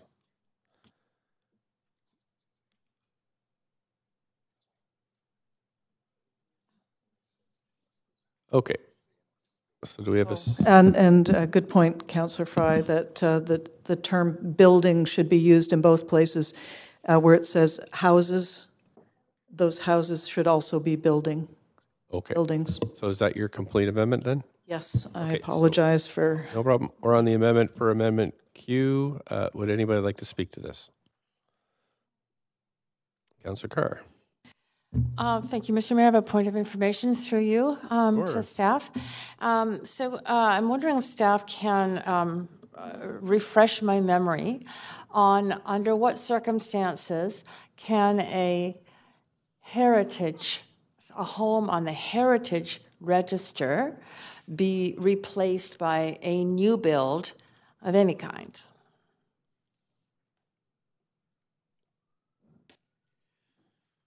McLean, Planning and Development. Um, A building that's on the register uh, is not protected, it's simply listed, so it can be replaced, it can be demolished, um, uh, provided that all other permits are in place. That's how the Vancouver Charter uh, describes it. So a building can be replaced. The, the, the condition is typically the Director of Planning will not consider any conditional provisions if the building on the register is lost. It can only achieve the outright provisions of the zoning. Okay, so um, through you, Mr. Mayor, to staff again. Um, So the issue here is that there would be no extra density um, if a a heritage home was torn down and replaced by a regular home. Um, But if it was to be replaced by a passive house home, there would be extra density that would be allowed in a new build. That, that's, that's what uh, is at play here, is that right? Well, my understanding is that if, depending if, if this extra density is considered conditional, then we do not, uh, the Director of Planning does not um, allow for the conditional provisions to be considered. So it couldn't anyway then? A, a passive house could not be? I'm sorry, I don't understand that. So because a passive house has got conditional um, density, according to uh, the proposal that's in front of us now, um, if this were if, this were if that amendment were not to take place even if that amendment were not to take place and somebody applied for the building of a passive home if it was to replace a heritage home it could not have any extra density that we would normally give a passive house. It's just That- because it is That already is, that is my understanding, because the objective is to retain all buildings on the register and use incentives to have those buildings retained. got it all right so that's okay that's And, and the, uh, and the demolition permit, to clarify, that's uh, issued by the Director of Planning. right Yeah. okay Anything else to add? Yes, I, I do have uh, another comment to add then, and that is that uh, this is, um, it doesn't seem reasonable to me that we as a council would say that we don't want a heritage home to be replaced by a passive home. Um, compared to being replaced by any other home. Um, so we would this would prejudice um, the market to deliver the building of a new non-passive home on a her- on a heritage home lot if it was approved to be done that way. I mean, there's still some protections for heritage homes, but not but it's not fully protected. So, um, and the character home incentives, which might lead some to think, oh, we don't want to allow character homes because there's even more of an incentive to tear down a heritage home, don't appear, from what I've heard from staff, to apply. So, in other words, it's no, there's no extra incentive um, to build, to knock down a heritage home and replace it with a passive home. Um, and if somebody was going to knock down a heritage home, they could just do a regular home and there'd be no incentives for them to put up a passive home. So, I cannot see the, the value in this. Okay, thanks very much. Um, Councillor Boyle. Um, thanks. I will just uh, echo what Councillor Carr has said that it, it's not clear to me that this um, makes any significant difference, and and um, so I won't be supporting. I'm indifferent to the amendment to the amendment to change it to buildings because I um, won't be supporting the first level amendment. Okay, thanks. Councillor Wiebe. I, as well. I understand the direction of preserving heritage homes, and I'm very supportive. However, here I think that there is good retention if we're doing passive house retrofits or onto these buildings. So there's incentives in that sense. If it pulls off the registry, I would like to see it be a passive house. I know they don't get the incentives because it's on the registry. So I think this is, to Carr's point, is actually against it. So I'll be voting against this, and I do hope that we do get the heritage and character home um, policy back sooner than later because it is something that's been brought up multiple times at public hearings. Thanks very much, Councillor Nova. I I urge Councillor Hardwick to with I, I would hope Councillor Hardwick might withdraw this amendment to the her amendment and then further her amendment. Uh, the reason for this is I was trying to find a middle ground because I do, uh, as others have stated, support heritage homes, but the fact is is that that's a completely different matter. That's a different public hearing. That's like saying here right now that we're not going to, uh, when we talk about green demolition, we're not going to do that because that would mean demolishing possibly um, a, a home on the heritage register. So we don't say no to green demolition because we don't want homes to be demolished and then people demolish the way that they did before we had green demolition. So I think that, you know, Councillor Hardwick, I take I take your point. I understand it. I tried to help, but I, I can't support it the way it is. I would hope you would withdraw it because I understand what you're trying to achieve, but I don't think it's here that you would achieve that. I think it's at a council meeting where you'd bring a motion and put some direction forward to staff. Thanks. Thank you. Uh, Councillor Hardwick. And um, my interpretation is, is, is different than what is being expressed here. And, uh, but in the interest of moving this forward and in the interest of revisiting it in a more complete way, I will withdraw the amendment as suggested. But I do want to be clear about this, that the, the, the objection is to have competing incentives. And um, I don't want uh, one to trump the other, so to speak. And that was the intention here, is that as much as we want to, to foster the development of passive homes, we don't want to do it at the expense of, of Heritage Register buildings. Thanks so much. Uh, so what we need to do then is uh, to withdraw your amendment to your amendment and then withdraw your amendment. So, okay, so you're gonna, you have to move a motion to, I, mo- I move a motion to Withdraw your withdraw the amendment to the amendment. okay, we have a seconder for that? Okay, all in favor? Any opposed? So And that's then I withdrawn. reckon the amendment. That's right, so we'll do the same. Okay, all in favor? Any opposed? Okay, that's done too, so we'll go back to the main queue. Uh, Councillor Hardwick, anything else? Uh, no, I, uh, that was uh, interesting, but thank you. Okay, thanks. Uh, Councillor De Genova, you Thanks very much. Just to close on the motion, I really appreciate the work that staff put into this. Uh, appreciate the speakers coming out and sharing the insight with us about how Passive House um, can be done differently and better. And thanks for the information on character homes and uh, the the HRA as well, or, or sorry, the Heritage Registry uh, that we have at the City of Vancouver here. Uh, I predict that there may be some motions coming forward on that, but I really want to focus on what we have in front of us, which really will incentivize um, passive homes in the city of Vancouver. And although I asked about accessibility, I don't feel that it needs to be put in this specific uh, recommendation with the mel- with the yellow memo. Um, I'm confident that staff will consider that as they are um, on a completely different, you know, streamline of accessibility and accessible path. And I know that the intention was to bring something back to council eventually on that. And I trust that our staff will do that.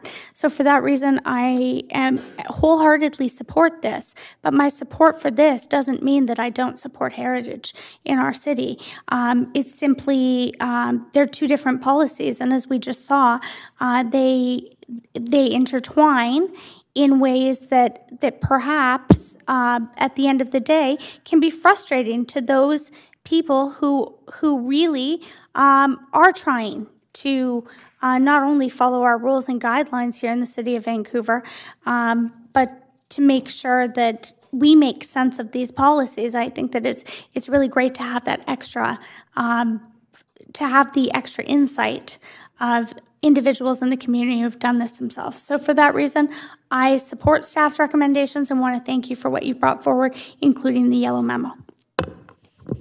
Thank you. So uh, that's it for speakers. Um, so we can call a vote on this uh, report.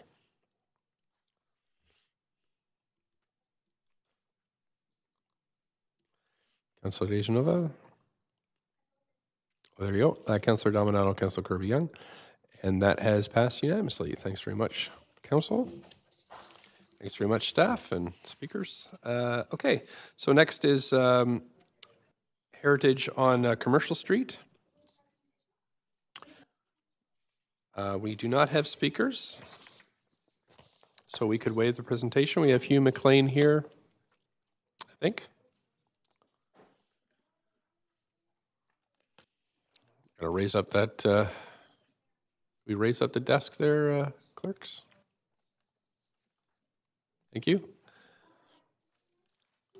Hey, there's any, uh, I'm just going to check with council. Uh, does anybody like to see the presentation? So we would like to see the presentation if that's uh, possible, but we're going to read the application first.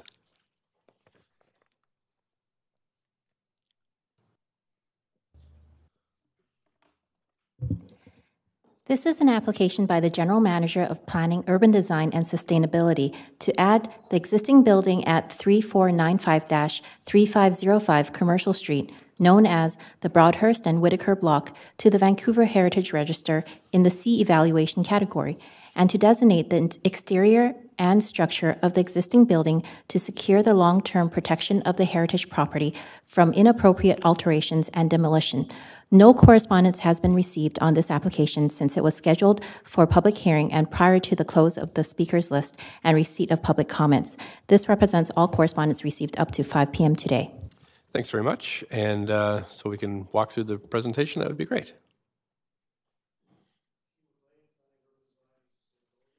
I got a mic problem here. There we go. Okay. Good evening, Mayor and Council.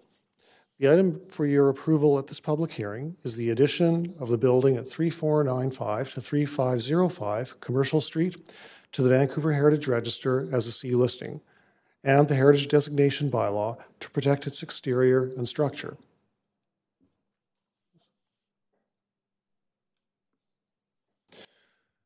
The proposal includes adding a floor to the top of the Heritage Building, which will be recessed from the front, and to construct a four story infill building at the rear.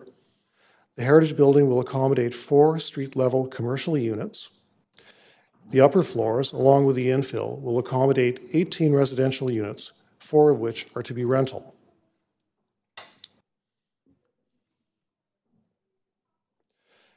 As part of the development permit application, the applicant is seeking a modest amount of, of residential floor area, which is 8% beyond permitted, and that is to be assigned to common circulation areas such as corridors and balconies.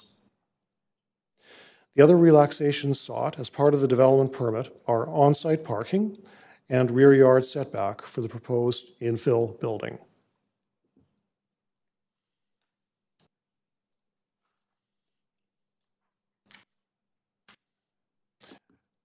There is a high degree of retention, and the project is in line with accepted standards and guidelines for heritage conservation.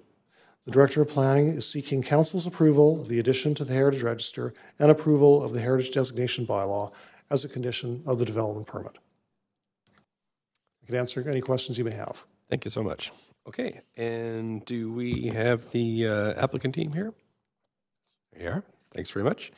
Um, let's see, did you want to speak to the application at all? Perfect. Okay, that's great. Thanks very much. And I've got uh, Councillor Swanson on the queue to ask questions. So there's four rental units and 14 strata proposed, plus some commercial, is that right? That's right. Do we have any idea what the rents will be? Uh, no, I don't know what the rents will be. There's no limits on them or anything? No. And are there any community CACs or DCLs being Uh, paid? Yes, DCLs are collected as part of the development permit application for all the new floor area, both commercial and residential. But no CACs? Uh, no, just DCLs. Okay, thanks. Thank you. And that is it for questions. Um, oh, Councillor Kirby-Yung. Go ahead. Uh, thank you. Um, I just had a quick one, and I just I I realized that this is not sort of an application for the heritage um, designation, but I'm just wondering um, why the report doesn't specifically list the applicant. I know that our information sheet does tonight, but we typically get that listed on the rezoning applications. Why is that?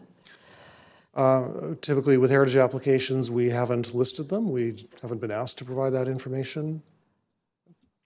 Okay. Yeah, I- Okay. I was I was just curious because we get just in terms of consistency, or I wonder if there's any reason or transparency. Like we get it on an info sheet, but not on the public document. Okay. Um, and the parking is going to be underground for in the infill building, or where's the parking located with the setback all the way to the lane? I just wanted to clarify. I wasn't clear on that. Parking, Marianne, or details just on the design of the parking. It's at grade, yes. It's at grade. Yes. So where is it if that 25 feet or whatever, if the building's going all the way back with that relaxation? I was just trying to kind of contextually place it. Hi, Marianne Amodio. I'm the architect for this project. So the parking is in the infill building at the lane at uh, below the level of the residential floor. So there's a podium level that's got a deck. Oh, okay. And then above that is the residential. So below that podium is all the parking, including car share. Okay, and there's the four floors then is the four floors of residential on, in addition to the podium? No, it's It's, it's one of the four? yeah, it's one of the four. Okay. Um, and it also referenced that they're highly livable units in size. Does that mean larger?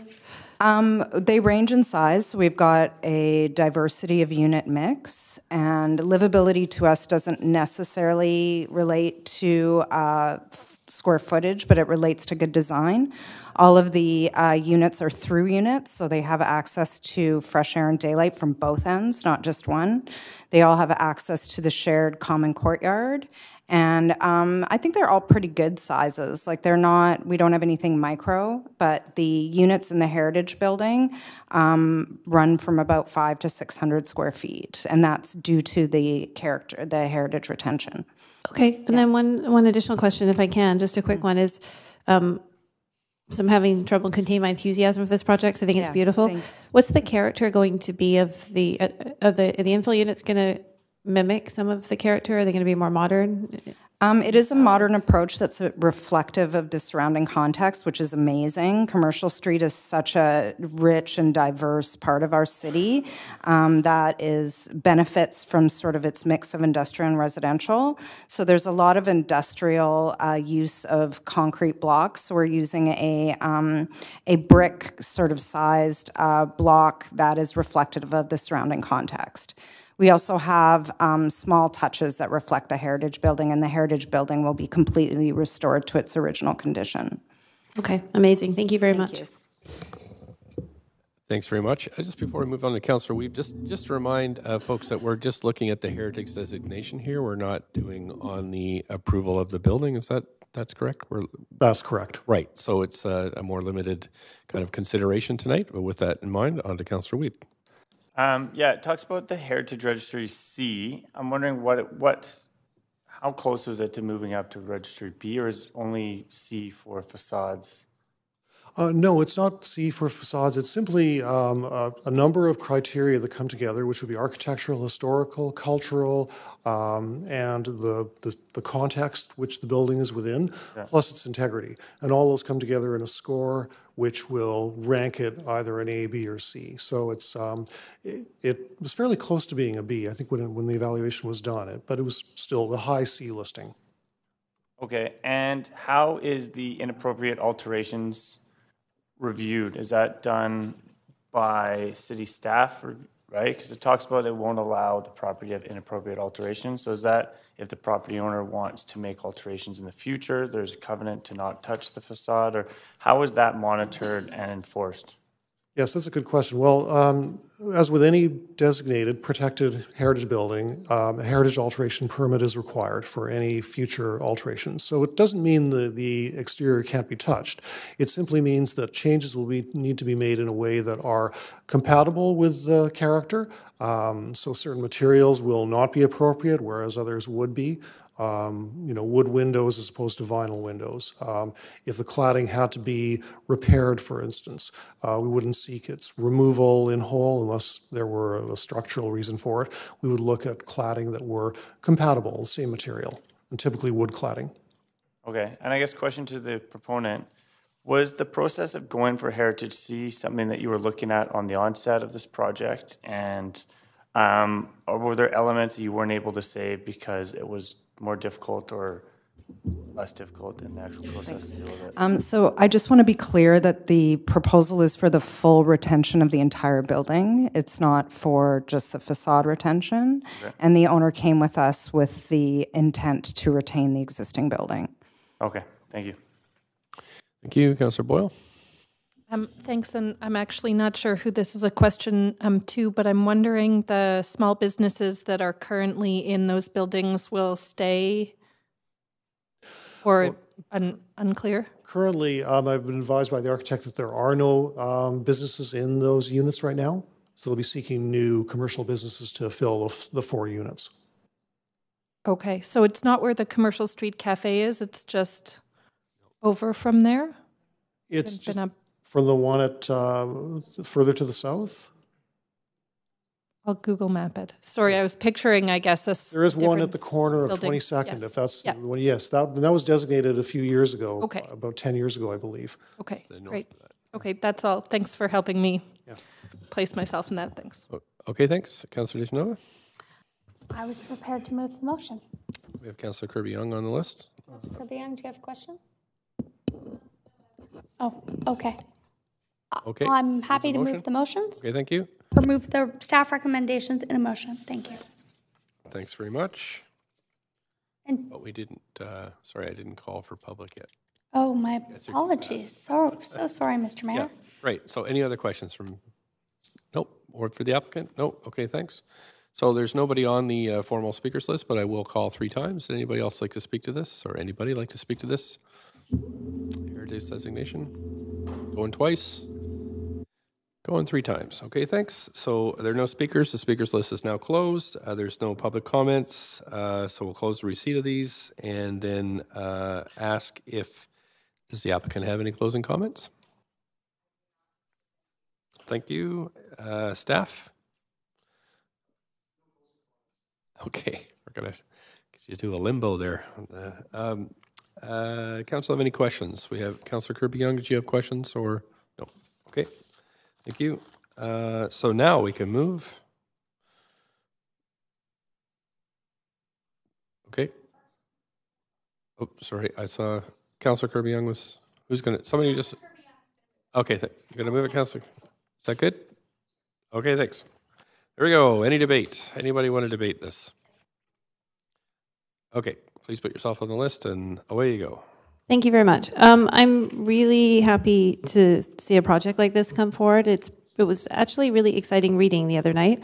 Um, not that public hearing reading isn't always, um, but the uh, the retention of I was actually on this block um, and I went to job fair and I stopped for a cup of coffee and I actually wandered down this couple of blocks and I thought, wow, it would be so amazing to see this restored and it is looking run down and dingy, but it looks a little bit like an old movie set that's just waiting to be brought back to life. And to sort of see some of the description of the features, such as um, the bay windows, the Edwardian era, and the parapets.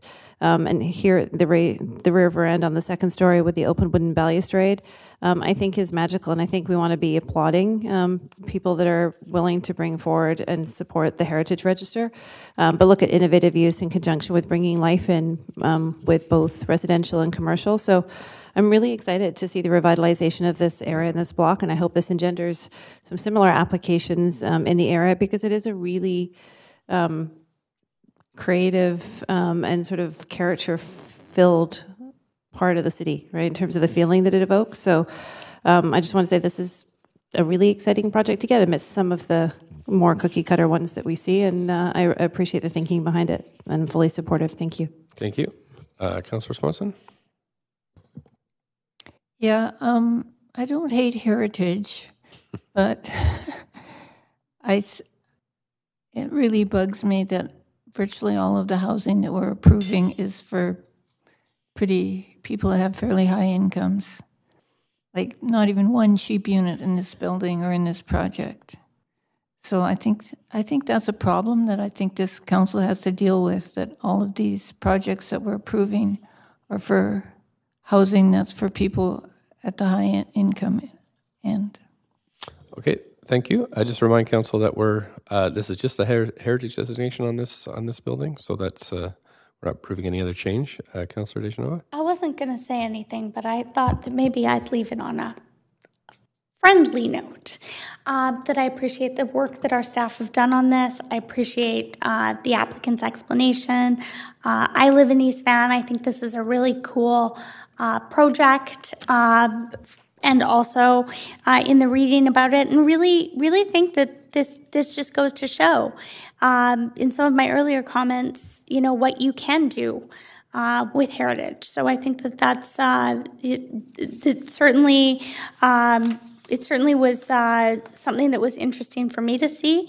Um, that being said, we haven't had any speakers, uh, and I keep an open mind until we um, we debate and decide here. So I certainly do support this, um, and I think that it's important that we remember that we need people of all incomes in this city because that's how we also uh, get our tax base. And without a tax base and without housing for all people, then we can't support those who are sometimes less fortunate. So I think that it's important that we also remember that, you know, Vancouver needs to be a city for for everyone, for families, for um, for people who live at shelter rates and the HILs limits, but also uh, people who can afford uh, market rent, who uh, inject. Uh, uh, you know, uh, new life into our economy, into small business in Vancouver, and I know that that this area is is certainly an area that uh, that has that spirit of local community. So for that reason, I just wanted to say that I really I really do support this, and uh, I'll leave my comments at that. Thanks. If I can just uh, turn the chair over to Councillor Dominato for a second, while I uh, this might make Councillor Swanson feel better. This was uh, COPE's headquarters for a very long time uh, under under Larry Campbell uh, and Think City. So there's a lot of political activity that's happened in that building, and uh, I'm sure there will be more activities, perhaps not so nefarious, but but that's where the last Olympics were approved, I think, in there. So who knows what will happen next? Okay, th- thanks so much. And now I'll take the chair back if you don't mind. Um, okay, uh, right. So we can call a vote on this one.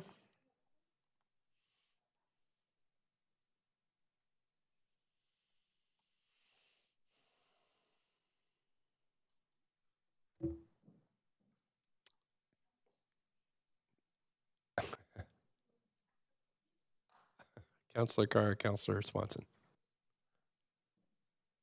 Just waiting for Councillor Swanson. Okay, so that's uh, passed with none in opposition. Thank you very much, Council. On to the text amendment for 1500 West Georgia Street.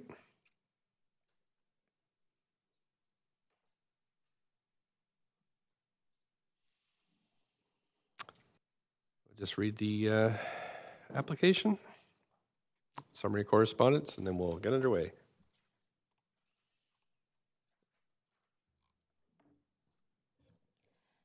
This is an application by the Bosa Properties Incorporated to amend CD1 705 to increase the permitted floor space ratio, FSR, from 10.82 to 10.93 and to increase the maximum floor area of sub-area A by 432.2 square meters, equivalent of 4,652.2 square feet, to correct an error in the floor area calculation for the existing retained office building. No correspondence has been received on this application since it was referred to public hearing and prior to the close of the speakers list and receipt of public comments. This represents all correspondence received up to 5 p.m. today. Thanks very much. We have Michael Naylor here uh, from Rezoning Center, and there's no uh, staff presentation for this item, but here to answer questions, I imagine. Um, and I don't think there's an applicant team. Is there an app- is the applicant team here? There is. Okay, great. Did you uh, wish to speak to the application or just answer questions? Thank you very much. Okay, so any questions from uh, council to staff or the applicant? I don't see anybody there. We don't have any speakers, I don't think. Don't have any speakers, so I, oh, Councillor De Genova? To, okay.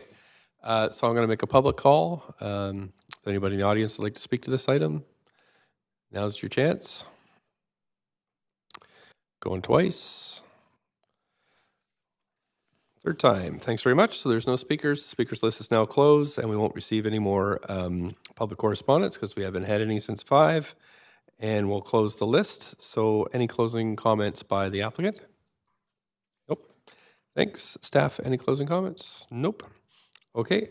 Um, so, uh, Councillor De Genova, I take it you're going to move the motion? I'm happy to move this, Mr. Mayor, and it, it simply is a text amendment. So there, um, there isn't very much that I will say to it, other than uh, I'm I will be supporting this, and uh, in the interest of keeping it short, that's all I'll say. Okay, thanks. We have a Thank seconder. You. Thanks very much. So, uh, does anybody want to speak to this at all? If not, then we'll call a vote.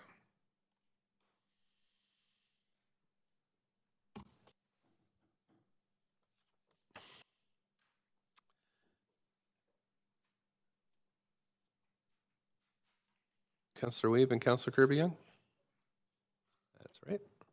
That's unanimous. Thanks very much, Council. And uh, now we're on to the next item, rezoning on Clive Avenue. If we can get the uh, clerk to Read out the application.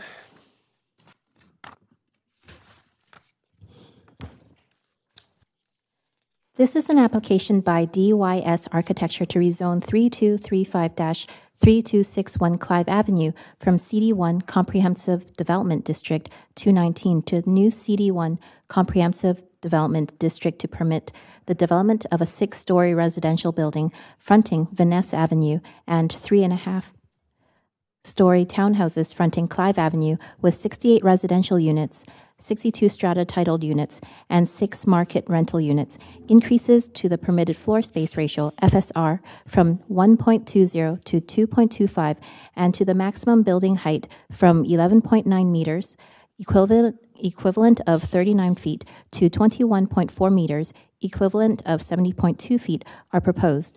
The following correspondence has been received since referral to public hearing and prior to the close of the speakers list and receipt of public comments.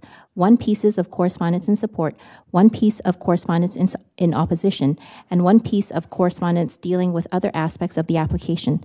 This re- represents all correspondence received up to 5 p.m. today. Thanks very much. And um, we have uh, Michelle Yip here from the uh, Rezoning Center. Um, but we have no speakers, so we might want to waive, waive the presentation unless. That, does anybody want to see the presentation? Okay. Happy to waive. Thanks very much. Uh, so we'll waive the presentation of the applicant team here to speak to the applicant team. You don't have to speak. Just if you'd like to, you can, or just answer questions. That's great. Okay, thank you very much. Any questions from um, council to staff or the applicant? This is your chance to ask the applicant questions. I don't see anybody on the queue. Okay, we have nobody on the uh, formally on the list, so I'll call to the public. Is there anybody who'd like to speak to this uh, rezoning application? Going twice. One last call. Okay, thanks very much. So we're going to, uh, we haven't received any um, correspondence uh, after 5 p.m., so we'll close the receipt of public comments and move on to hearing closing comments. Uh, does the applicant have any closing comments? Closing comments? Okay, nice to hear. Thank you. Uh, staff have any closing comments? Nope. Thank you. Council have any questions? I got Councillor De Genova. Uh, Question?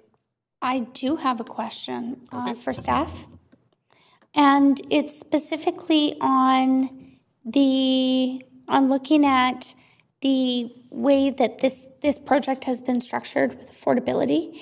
And in the report, I understand that there are townhomes included, which um, meets the policy and several policies in the plan. However, I was wondering if staff could elaborate on what, what it would do if, if council perhaps were to um, to to put specific um, specific uh, regulations on um, the types of rents that were charged here at this building, if the pro forma would still work and if that would be workable for the applicant in your conversations with the applicant. Uh, I think the applicant should be able to answer that question in terms of their. A little late for that. So we've we've closed. We we can't hear from the applicant now. So it's just No, I was I asked staff in their conversations with the applicant. Ah, okay. That's and what the, I and the said. response. So, yes, and that's why I said in your conversations with the applicant. My apologies, That's Mr. okay. Mayor, that I wasn't clear. That's okay. Yeah. Well, it wasn't a conversation that we had. Real estate has reviewed the pro forma, um, and there was fairly, uh, you know, from the understanding that I've had in terms of their negotiations with real estate, it was a fairly tight pro forma um, in terms of the lift. And there is a CAC being produced on this, um, being achieved on this at 1.2 million, uh, which is, you know, s- Okay, so if, um, if, if, uh, so we would, would there be a concern that this would undermine the family housing that would be built in much needed townhome stock in our city if the, the mix of how the affordability of the units structured was changed? Yes, I believe there would be. If there was a, a, a you know, a, if the affordability structure, there was an imposition in terms of providing a particular rental rate, I think there would be um, implications and impacts to the project overall. Would that be the same for income? Uh, I believe so. Okay, that's good to know. Um, also had a question on overall, is this one of the more affordable neighborhoods in Vancouver? Would, would we, it, can staff answer that question? Just on a land economics standpoint, that's what I, that's what I'm looking at.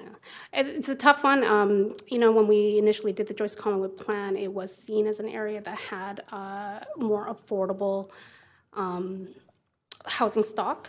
Uh, I did a cursory review today, though, of uh, housing prices as well as rental rates, and they are um, quite high as well, um, actually. Comparatively to other areas of Vancouver, would you say it ranks on the lower end of affordable? I would say it's actually the equivalent. Um, it does range. There's a, a, huge range in terms of the uh, housing stock in terms of age, and then the age is reflective of certain pricing.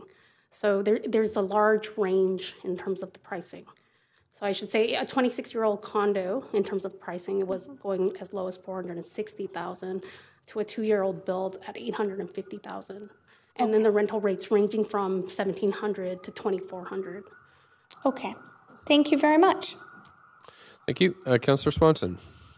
I have an amendment, but I don't think this is the time, right? Yep, still not quite there yet. We're, we haven't got the uh, motion moved yet, so you'd have to wait for that period.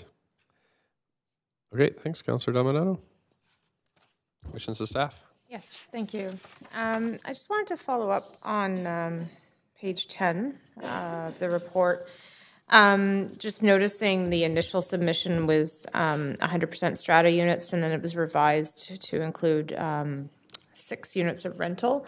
Um, was that something that was encouraged through our conversations with city staff to achieve more rental stock, or was that something that came forward from the applicant? I'm just curious about sort of it was that something evolution. that the city had initiated in terms of the conversation through the review of the processing of the application. Um, it was realized that the rental housing stock ODP did apply to this site as a CD1 zone site, and so we had um, altered the application to to advise the applicant that the one-to-one replacement ratio would be required. Okay. Thank you. Appreciate that. Okay. Uh, Councillor Nova, any more questions? I was happy to move the motion, Mr. Mayor. Okay. The staff recommendations as proposed. Great. Thank you. And seconder?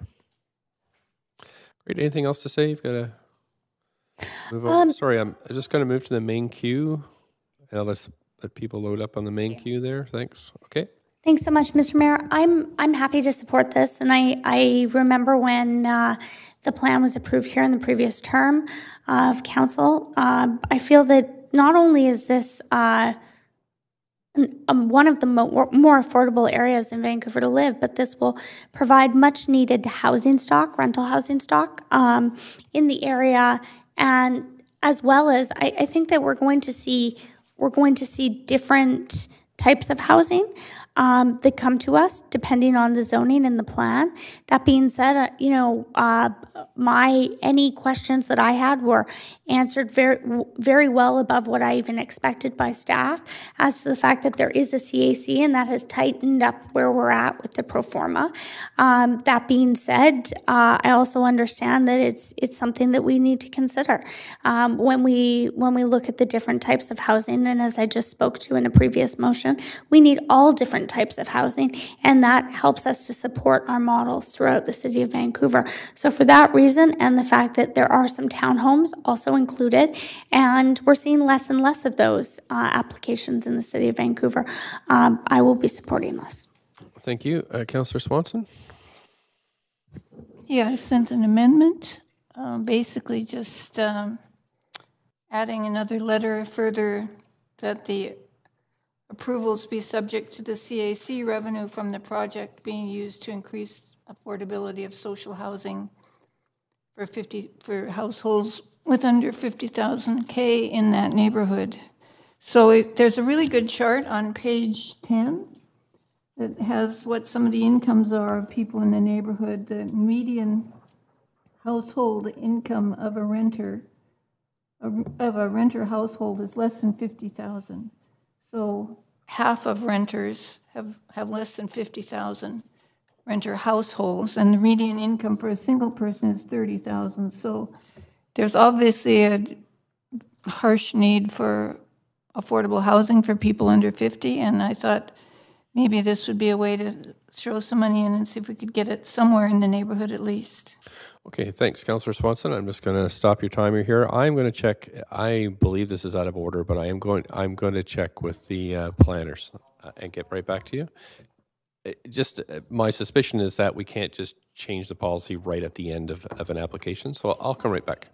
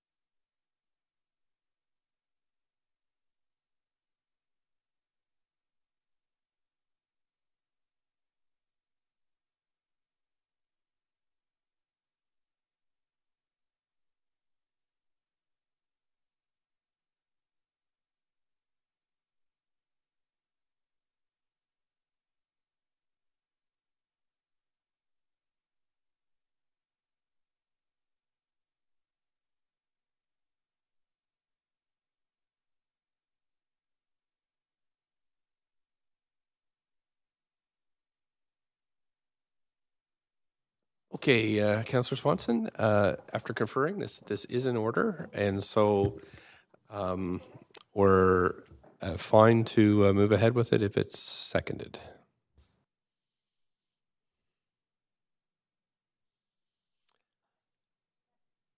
So I don't hear a seconder. So we're going to move on. Councillor Swanson, do you have anything else?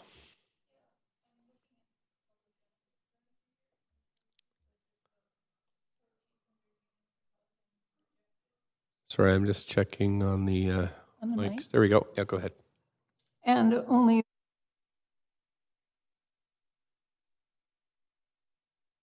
be for people at HILs, only, so out of 1,400 units, we get 30 for people at HILs, 30 for people at 50,000 or under. It's not a very good ratio. It's especially not a very good ratio for a neighborhood where the median household income is 50,000, and we as a council need to do something about this. So somebody please tell me how.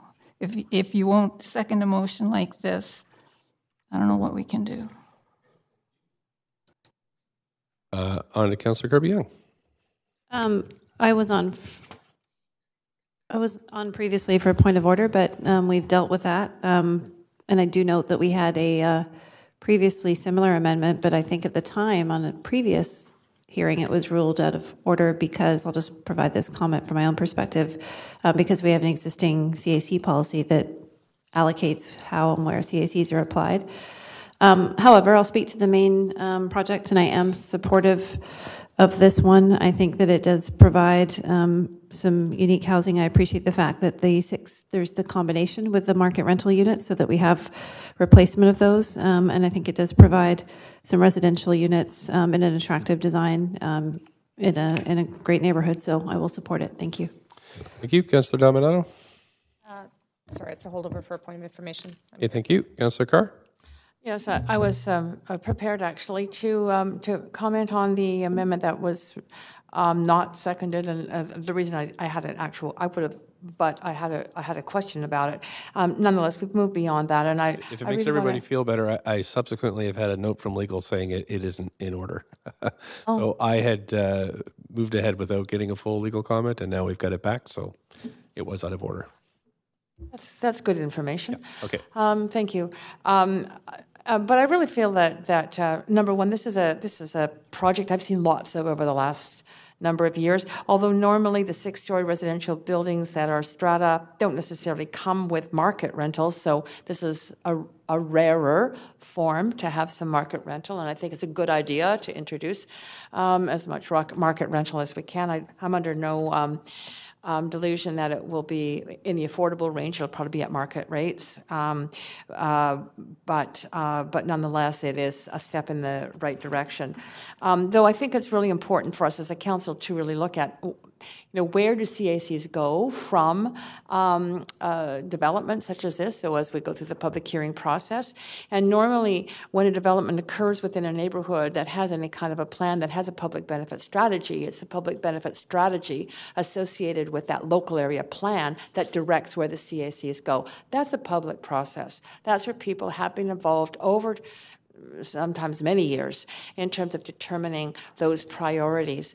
Um, so, uh, you know, I am hesitant to um, to redirect money that's not in line with what the residents have already determined are their priorities for their particular area.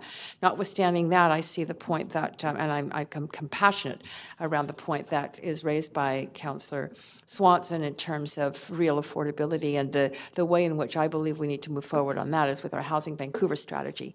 And, uh, and there are, is an opportunity this fall to really take a look, and we've asked staff to take a look at um, those figures being more clearly matched to the real needs of different income levels um, within the city. Um, that was done at the rental housing and incentives review in the fall. So I, am hopeful that we actually will get some different um, targets out of that kind of process.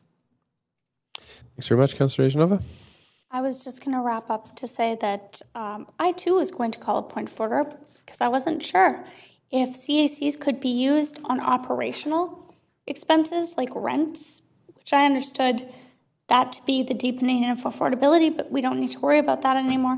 Um, I too, and that's what I mentioned um, to Councillor Carr's point, uh, the community spoke very clearly about what they wanted. This was a unique plan, and now we're seeing projects come from that plan where the CACs are being allocated as per the community's wishes. And I think that, that that's certainly something we've heard loud and clear from the community. Uh, that being said, as I said, uh, we need all different types of housing in the city of Vancouver.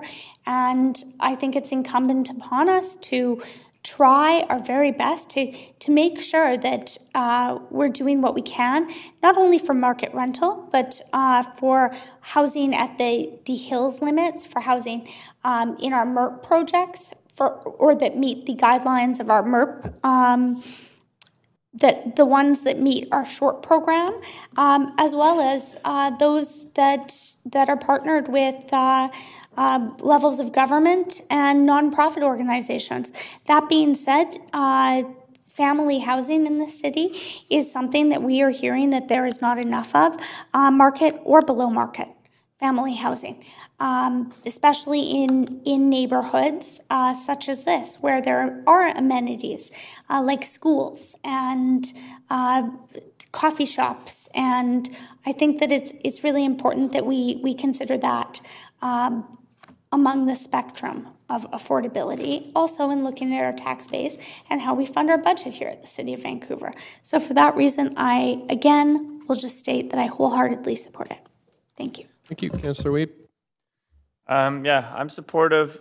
We are 1.2 million is a quite a smaller CAC than some of the other projects. I know we're getting rental out of this project, but I think we need to kind of justify are we getting a small amount of rental or a larger CAC that we could put into more affordability and affordable rental projects in the area? So um, for me, it's it's a bit of a balance looking at some of the projects and trying to really quantify the value of the rental we're getting um, to what some of the other benefits would be to the neighbor. Um, so that's been a bit of a balance for me on this project. However, I do think close to the SkyTrain the form of the building. Um, I think there were some good comments and changes by the applicant, so I will be supportive of it. But I do want us to kind of look at what levers we're using to make sure we're delivering the best benefits for the neighborhood. Thanks.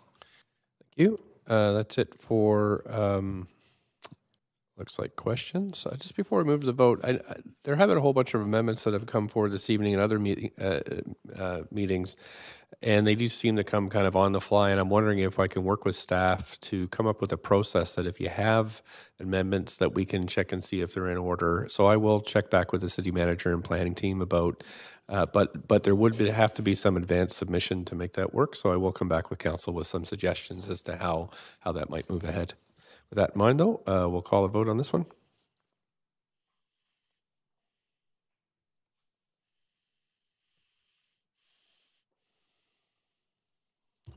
And that's passed with Councillor Swanson in opposition. Okay, on to the last uh, one of the evening. We have uh, rezoning on Cambie Street. Have the clerk read the application. That would be great.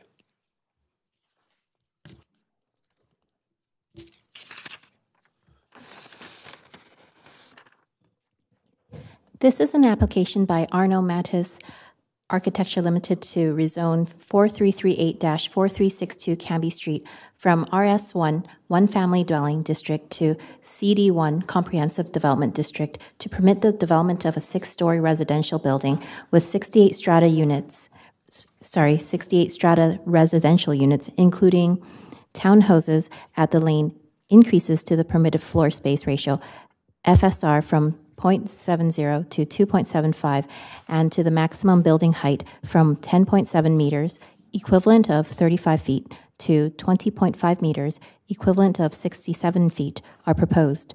The following correspondence has been received since referral to public hearing and prior to the close of the speakers list and receipt of public comments.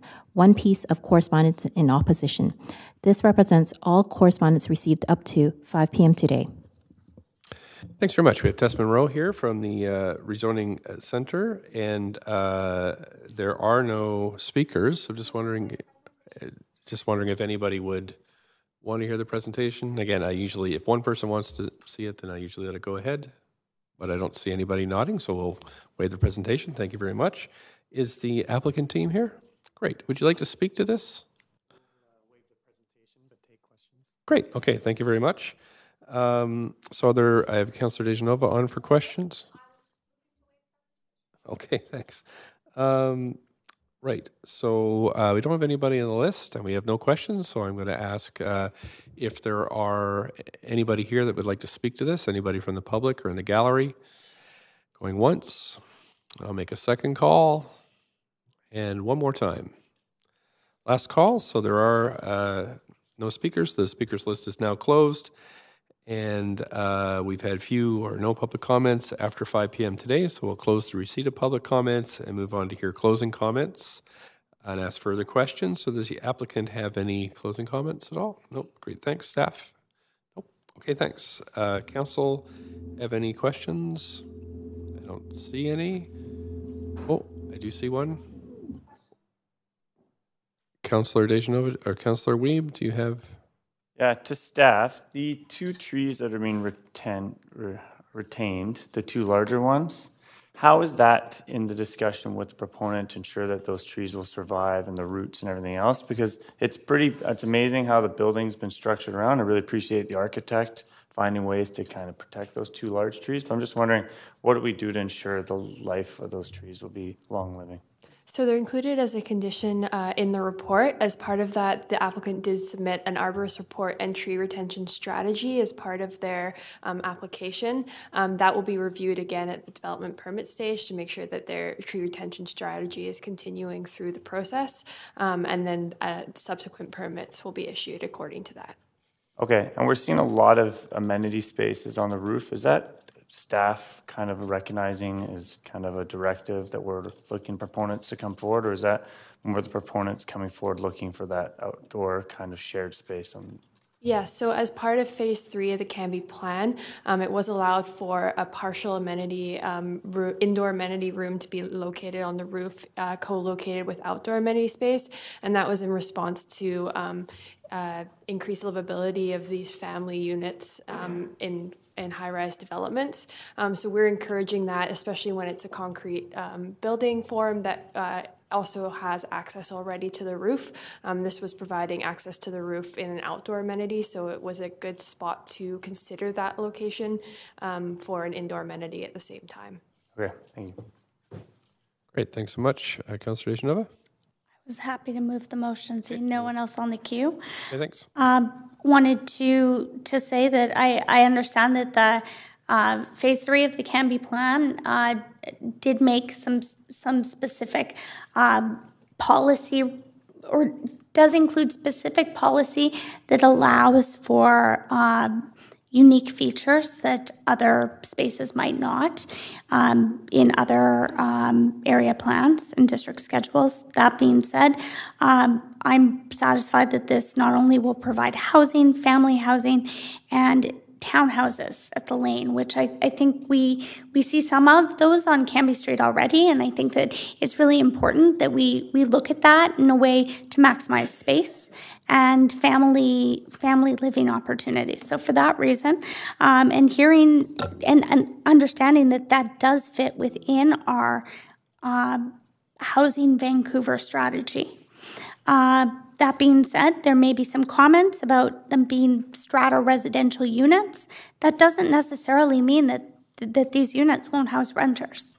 And I wanted to make that very clear as well because we often see strata units uh, housing renters, and they also contribute to the rental market in Vancouver. So, for that reason, and uh, the fact that this uh, conforms to and meets all of the uh, um, in the policy report clearly states that it meets several policies, uh, including uh, the Cambie Phase 3 plan. I am supportive of this project. Thank you. Thanks so much. Councillor Swanson. So I had my amendment ready, but I'm sure it would be ruled out of order. I just wanted to again raise the issue of affordability. I'm looking at the benefit plan here for the Cambie corridor. There's over 10,000 units of housing planned. Less than 10% of them are social housing. Of those, less than 10% or only 30% would be at HILs. The median household income for renters is 50,000 and there's about $6 million of benefits here that could do a lot towards increasing affordability, but won't. And I think we have to get a huge handle on this so that we are, in fact, building the right supply. I also want to say that in my pre council days, I was a member of the Downtown East Side Local Area Plan, and the Downtown East Side has a public benefits plan. And I can assure you that the community did not agree on that public benefit plan. I don't think we even saw it. It may have been passed by council, but I don't think the argument that the community wants is, is necessarily something that is true. Um, so I'm going to vote against this because there's nothing in it that's affordable. We've spent the whole night approving things that aren't affordable to people under 50,000, and I don't think that's right. Thanks, Councillor Wiebe. Uh, yeah, I just want to thank the proponent. I think that it's a beautiful design. I think you've challenged the norm, and I think that it's kind of needed on the corridor where we see in a lot of buildings of similar design. So I really appreciate um, that you're kind of breaking the the kind of normal mold that we see in the buildings up there, and the way you've kind of moved the building around to deal with the natural space. So I will be supportive. Thanks very much. Councillor De Genova? I was actually going to comment on the design and say that I think it's courageous design, and and in my own opinion, um, I, as Councillor Wiebe explained, I think it will be. Uh, a welcomed addition to the Cambie corridor. That being said, I did want to say that um, every every every housing unit that we build contributes to the right supply. Every housing unit that we at the city enable to be built, is what I meant to say, uh, contributes to the right supply because people who perhaps are overhoused as renters, uh, who may be able to um, purchase housing if we do build the right supply i think that we we have to consider the fact that our staff are are very well aware and understand our housing um, our housing vancouver strategy and they keep that in mind in all of the policies that this conforms to and meets and the recommendations that they bring to us and to the point that this uh, this doesn't fit in rental housing it's no different than uh, the comments i made before we can't deal with every single item in one item at public hearing. It's a quasi judicial body. We have to consider what's in front of us. And I, I think that it is incumbent on us uh, to remember that and, and to acknowledge that this does meet the policy. And I, I wanted to state that again just in my, in my closing to this. Thank you. Thanks so much, Councillor Kirby-Yung. Thank you. I'll be brief. Um, I, I, I do support this project, and uh, in terms of the positives, uh, there was one line that struck me in here, and, and I was sort of taken by the design. It says the modernism building design is conceived as an homage to the stratigraphic rock formations at Queen Elizabeth Park. Um, and I that really stood out for me, and I really appreciate the context and the attention paid um, to the surrounding area. Um, and I do think, though, that I, I really share Councillor Swanson's concerns around the dire need for lower level housing or uh, in terms of income um, and the diversity of housing but we do have approximately 630000 odd people in the city who all need to live somewhere and we need multiple types of housing. And so while we're want to need to pay attention to the 2223 homeless folks and the ones that need housing at, at sort of the more modest income levels not everybody can afford a home um, or a single family home that people that are buying and it we can't punish other people by not putting other housing types and stream into the into the market. And so I, I do think that it's a really important conversation, but it's separate from what we're being asked to approve here. Um, and $4.4 million of a community amenity contribution is significant, and that will provide, contribute to livability and some of the other goals that we have in the city. So um, we have to consider that in context, and constraining our housing supply, I don't think, is the means to achieve the other very important goals that um, council aspires to do and to really provide housing for those folks that truly need it. So, um, all of that said, I think the design is innovative. Um, it takes the um, context of the area into consideration, and it's nice to see the, the juxtaposition with the townhouses animating the lane as well. Thank you. Thanks so much. Uh, looks like it on the queue, so I'll call the vote.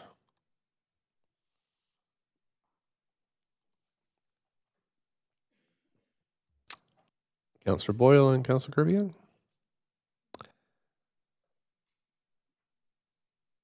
Councillor Boyle.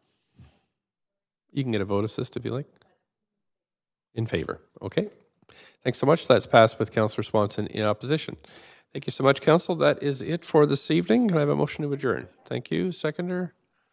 Thank you. Uh, all in favor? Any opposed? Great. Thanks so much, Council. Look at that. Eight, not even 8.30. And remember, we're not back here on Thursday night. So enjoy that night off. I I thought it was secu- I thought it was a public hearing reserve.